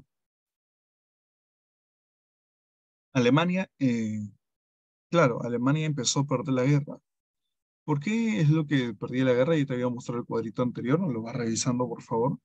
Sus ejércitos estaban debilitados, o sea, sus ejércitos iban de guerra en guerra, iban matando cantidades indigeribles de gente. Mm. Y obviamente perdían armamento y muchos de ellos morían y muchos de ellos quedaban eh, lastimosamente este, heridos, ¿no? El ejército, por tanto, alemán, el año de 1943, se rendía frente a la ciudad soviética de Stalingrado. Anótame ese dato, por favor. ¿ah? Frente a la ciudad soviética de Stalingrado, el ejército alemán de 1943 se rinde. Se rinde. Acá vamos a ver una imagen también. Dice acá, profesor, entonces las alianzas de la Segunda Guerra continúan, eh, la, continúa la guerra o se pusieron. Las alianzas seguían, este, Pamela, pero ya con modificatorias en el tiempo. Dice acá, acá vamos a ver una fotografía de los generales aliados entrando a la ciudad de Berlín, a su espalda la famosa puerta de Brandenburgo, todo un símbolo alemán. ¿Es cierto? ¿Es cierto? Tenemos también algunas cosas, ¿no? Por ejemplo, en el 43, Italia, Mussolini, ya, Benito Mussolini fue destruido por el rey Víctor Manuel III y la, consiguiente rendición de la nación, ¿no? Pasando, bueno, pasando a la forma parte de los aliados. Acá tenemos a Benito Mussolini en este caso. En la victoria de los aliados ya te había mencionado cuáles eran, ¿ya? Tenemos el tema de la, la ruta de Stalingrado en Wilchman, batalla de Kursk en el 1943, el norte de África. Recuerda que eh, generalmente en examen te van a preguntar sobre estos datos, fechas, ya, fechas. La primera es la más importante. Tenemos la siguiente, la norte de África, al final en 1942, en la batalla de Alemania. Tenemos la invasión de la invasión aliada de Italia en la invasión del norte de la República de, de Saló, al sur, el gobierno pro-aliado, el desembarco de Normandía el 6 de junio de 1944. También es una película, así que pueden buscar la película el mismo nombre, Desembarco en Normandía, o 1943, ya también pueden encontrarlo en Stalingrado. Eh, esta básicamente se basaba en la liberación de, de París el 6 de junio del 44, conocida como el desembarco en Normandía. Tenemos también lo que es el avance ruso en el este, en la batalla de Berlín, la capitulación de, los alemanes, el 7 de mayo de 1945. Muy importante también, ¿no? Porque cuando los rusos avanzaron al este, la batalla de Berlín se conciliaba con la capitulación de Alemania en el 45. Y por supuesto la victoria de Estados Unidos en el mar del Coral de Midway, eh, Guadalcanal, ¿no? Era uno de estos. No están, no preguntan esto en los exámenes, pero te lo voy a dejar ahí como un dato que espero te sirva. Eh, por último, tenemos el bombardeo norteamericano, ¿no? El Traum o Truman, ¿no? Sobre Hiroshima y Nagasaki, que ya te había mencionado. La capitulación de Japón después de la bomba atómica se hizo una capitulación el 2 de septiembre de 1945. Preguntan en el chat, a ver. Claro, las consecuencias de una guerra siempre son sociales, culturales, económicas, territoriales. Obviamente, consecuencias humanas. Ya, acá te voy a dejar un mapa que es mucho más grande y parece complicado, pero tampoco es la gran cosa, sobre este, cómo iban los territorios ocupados por la URSS, ¿no? Principal, todo lo que era rosa. Todo lo que era de color rosa era de la URSS.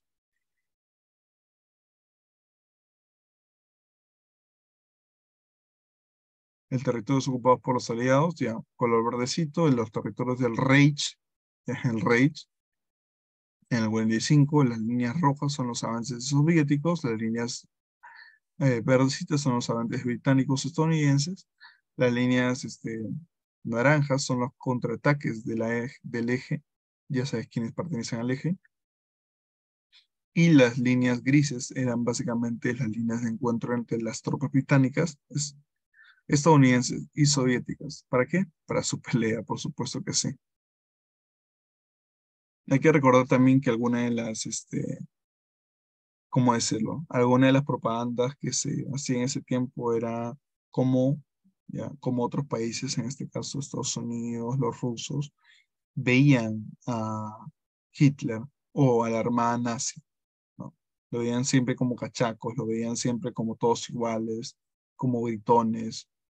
Y también otros decían, sin piedad destruir al enemigo, ¿ya? O sea, que si te encontrabas a Hitler frente tuyo y tú eras oposición, tenías que matarlo. No había piedad, sino él te mataba. Y por supuesto Hitler dice, y todos ustedes recibirán la tierra del este, pero todos ellos ya estaban muertos. Ese, era lo irónico, ¿no? Le prometía a sus soldados que recibirían tierras y recibirían riquezas. Lo malo que esos soldados nunca regresaban, o muy pocos regresaban. Morían. Morían a cantidades increíbles. Hay que recordar también que en abril de 1945 el ejército rojo invade Berlín, ocasionando el suicidio de Hitler y su esposa, y por supuesto la posterior rendición de Alemania el 8 de mayo de 1945.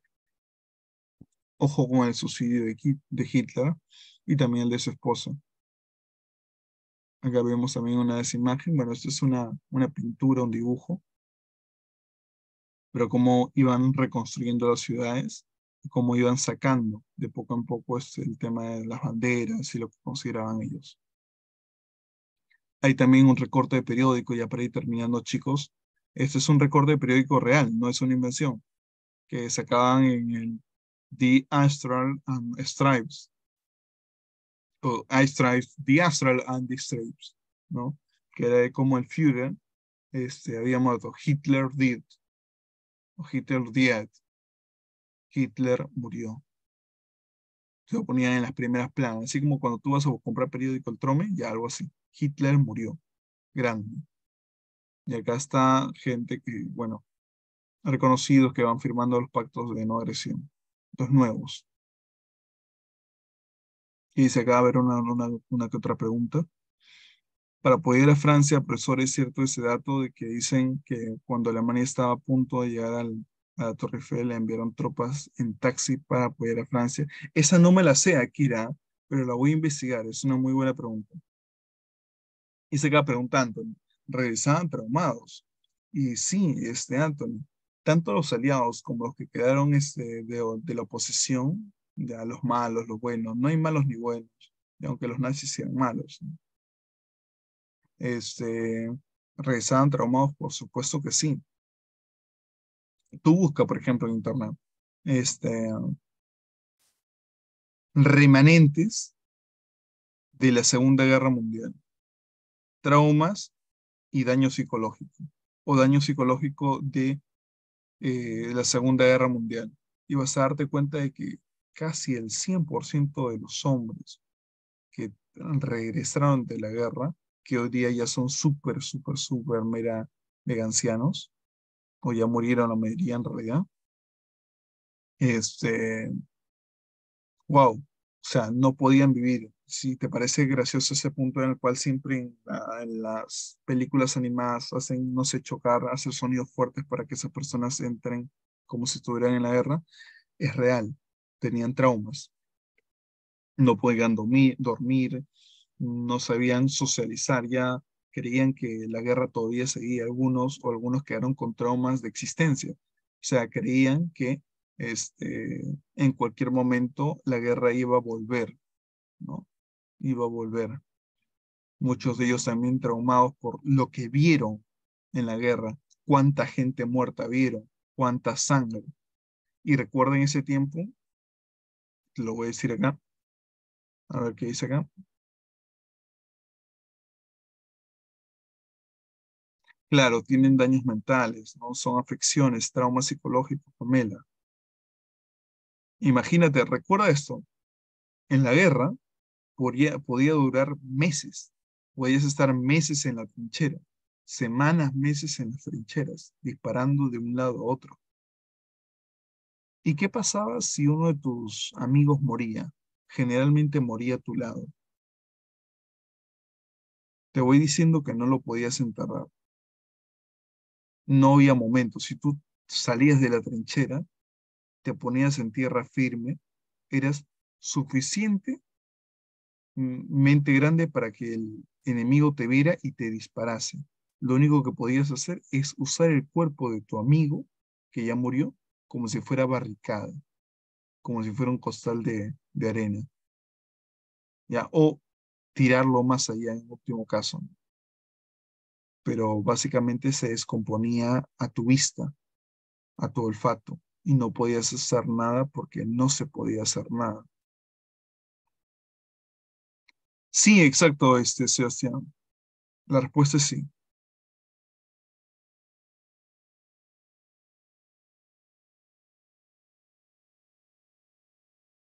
Sí, exacto, Pamela, coincido muy mucho contigo. Claro, son este, los trastornos posguerra, los trastornos postraumáticos, ¿no? TETP o TEPT. Muy bien, este, Akira. Ha estado leyendo, me alegra eso. A ver, a ver un momento. También tenemos, por ejemplo, algunas imágenes de una guerra total, ¿no? Aumento de la producción militar, novedades tecnológicas, la percepción étnica, etcétera, etcétera, etcétera. Acá vemos uno de los bombardeos masivos. Esa imagen que ven abajo es una imagen de cómo los judíos vivían en trincheras. Bueno, trincheras no, vivían en, en pequeños establos. Es una imagen real.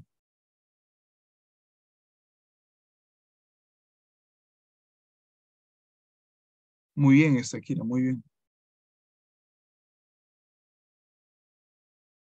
Ese también es otro, otro mapita para que pueda ver los principales campos de concentración y de exterminio eh, de los nazis contra los judíos. Habían demasiados y moría mucha gente.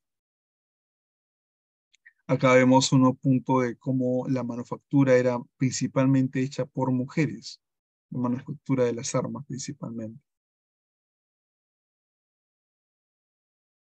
Eh, los motivos de los cuales los alemanes odiaban a los judíos era por el tema racial. Creían que la raza judía era una raza este, indigna.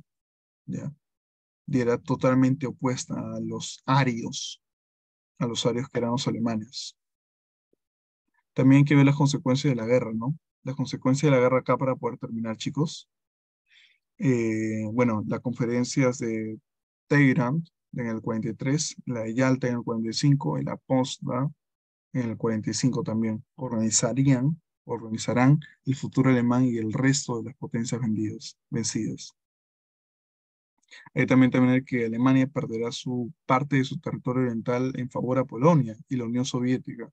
Esto radicaría en que quedaría dividida en cuatro zonas bajo el control de las potencias aliadas, como vemos en la imagen. Eh, también veríamos eh, cómo el inicio de los judíos contra los responsables de los crímenes de guerra nazis. Los judíos también se defenderían. Esto si no va a ver.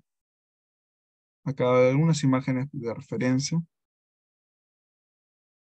Ya, quien me pedía, con eso terminamos chicos. Eh, quien me pedía la demografía y sociedades. Muertos. Entre 50 y 60 millones de muertos. Pamela creo que me lo preguntó, creo que me preguntó Sebastián, ¿cuánta gente murió en la Segunda Guerra Mundial? Entre 50 y 60 millones. Chicos, repito de nuevo, ninguna guerra santa, todas son sangrientas. 50 y 60 millones de muertos. Exacto, mucho más que la población peruana.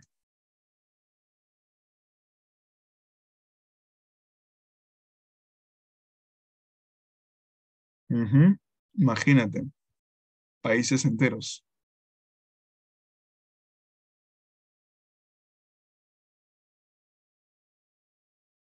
Las economías, por supuesto, fueron girando, pero Europa, por ejemplo, todos económicos y los de materiales, eh, perdería el liderazgo económico.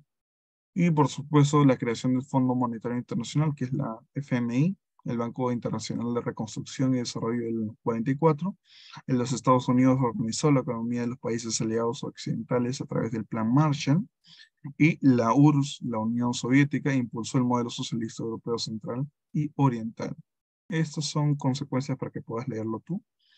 Y acá es un poco de biografía o web geografía. A ver, chicos. Vamos de esa forma también.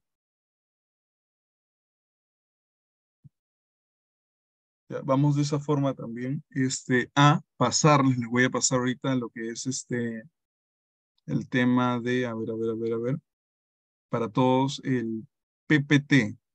Les voy a pasar el PPT una única vez, ¿ya? Los voy a pasar por este medio. No lo estén pasando a ninguno. Acá en Sancico es para ustedes, ¿ya? Así que para ustedes. Listo. A ver, ya estamos aquí. Muy bien, chicos, muy bien. Espero se haya entendido todo, espero hayan podido recapilar un poco de información por aquí y por allá. Espero también este, estén prestos ¿ya? A mayores informaciones. Te recomiendo ver las películas que te recomendé, te recomiendo ver algunos videos en YouTube. Te recomiendo siempre seguir en Sensico para toda la información directa para tu examen de admisión. Sensico, ya sabes, tú pases seguro a el instituto, la universidad, el centro de estudios que tú buscas. Así que por esta parte, chicos, me despido. Espero sea de aquí en adelante o sea la última vez, no lo sé. Espero puedan ingresar y dar lo mejor de ustedes en sus exámenes. Por mi parte, eso ha sido todo. Me despido. Soy Dante Romero Pimentel, el profesor de Historia para ustedes. Muchas gracias.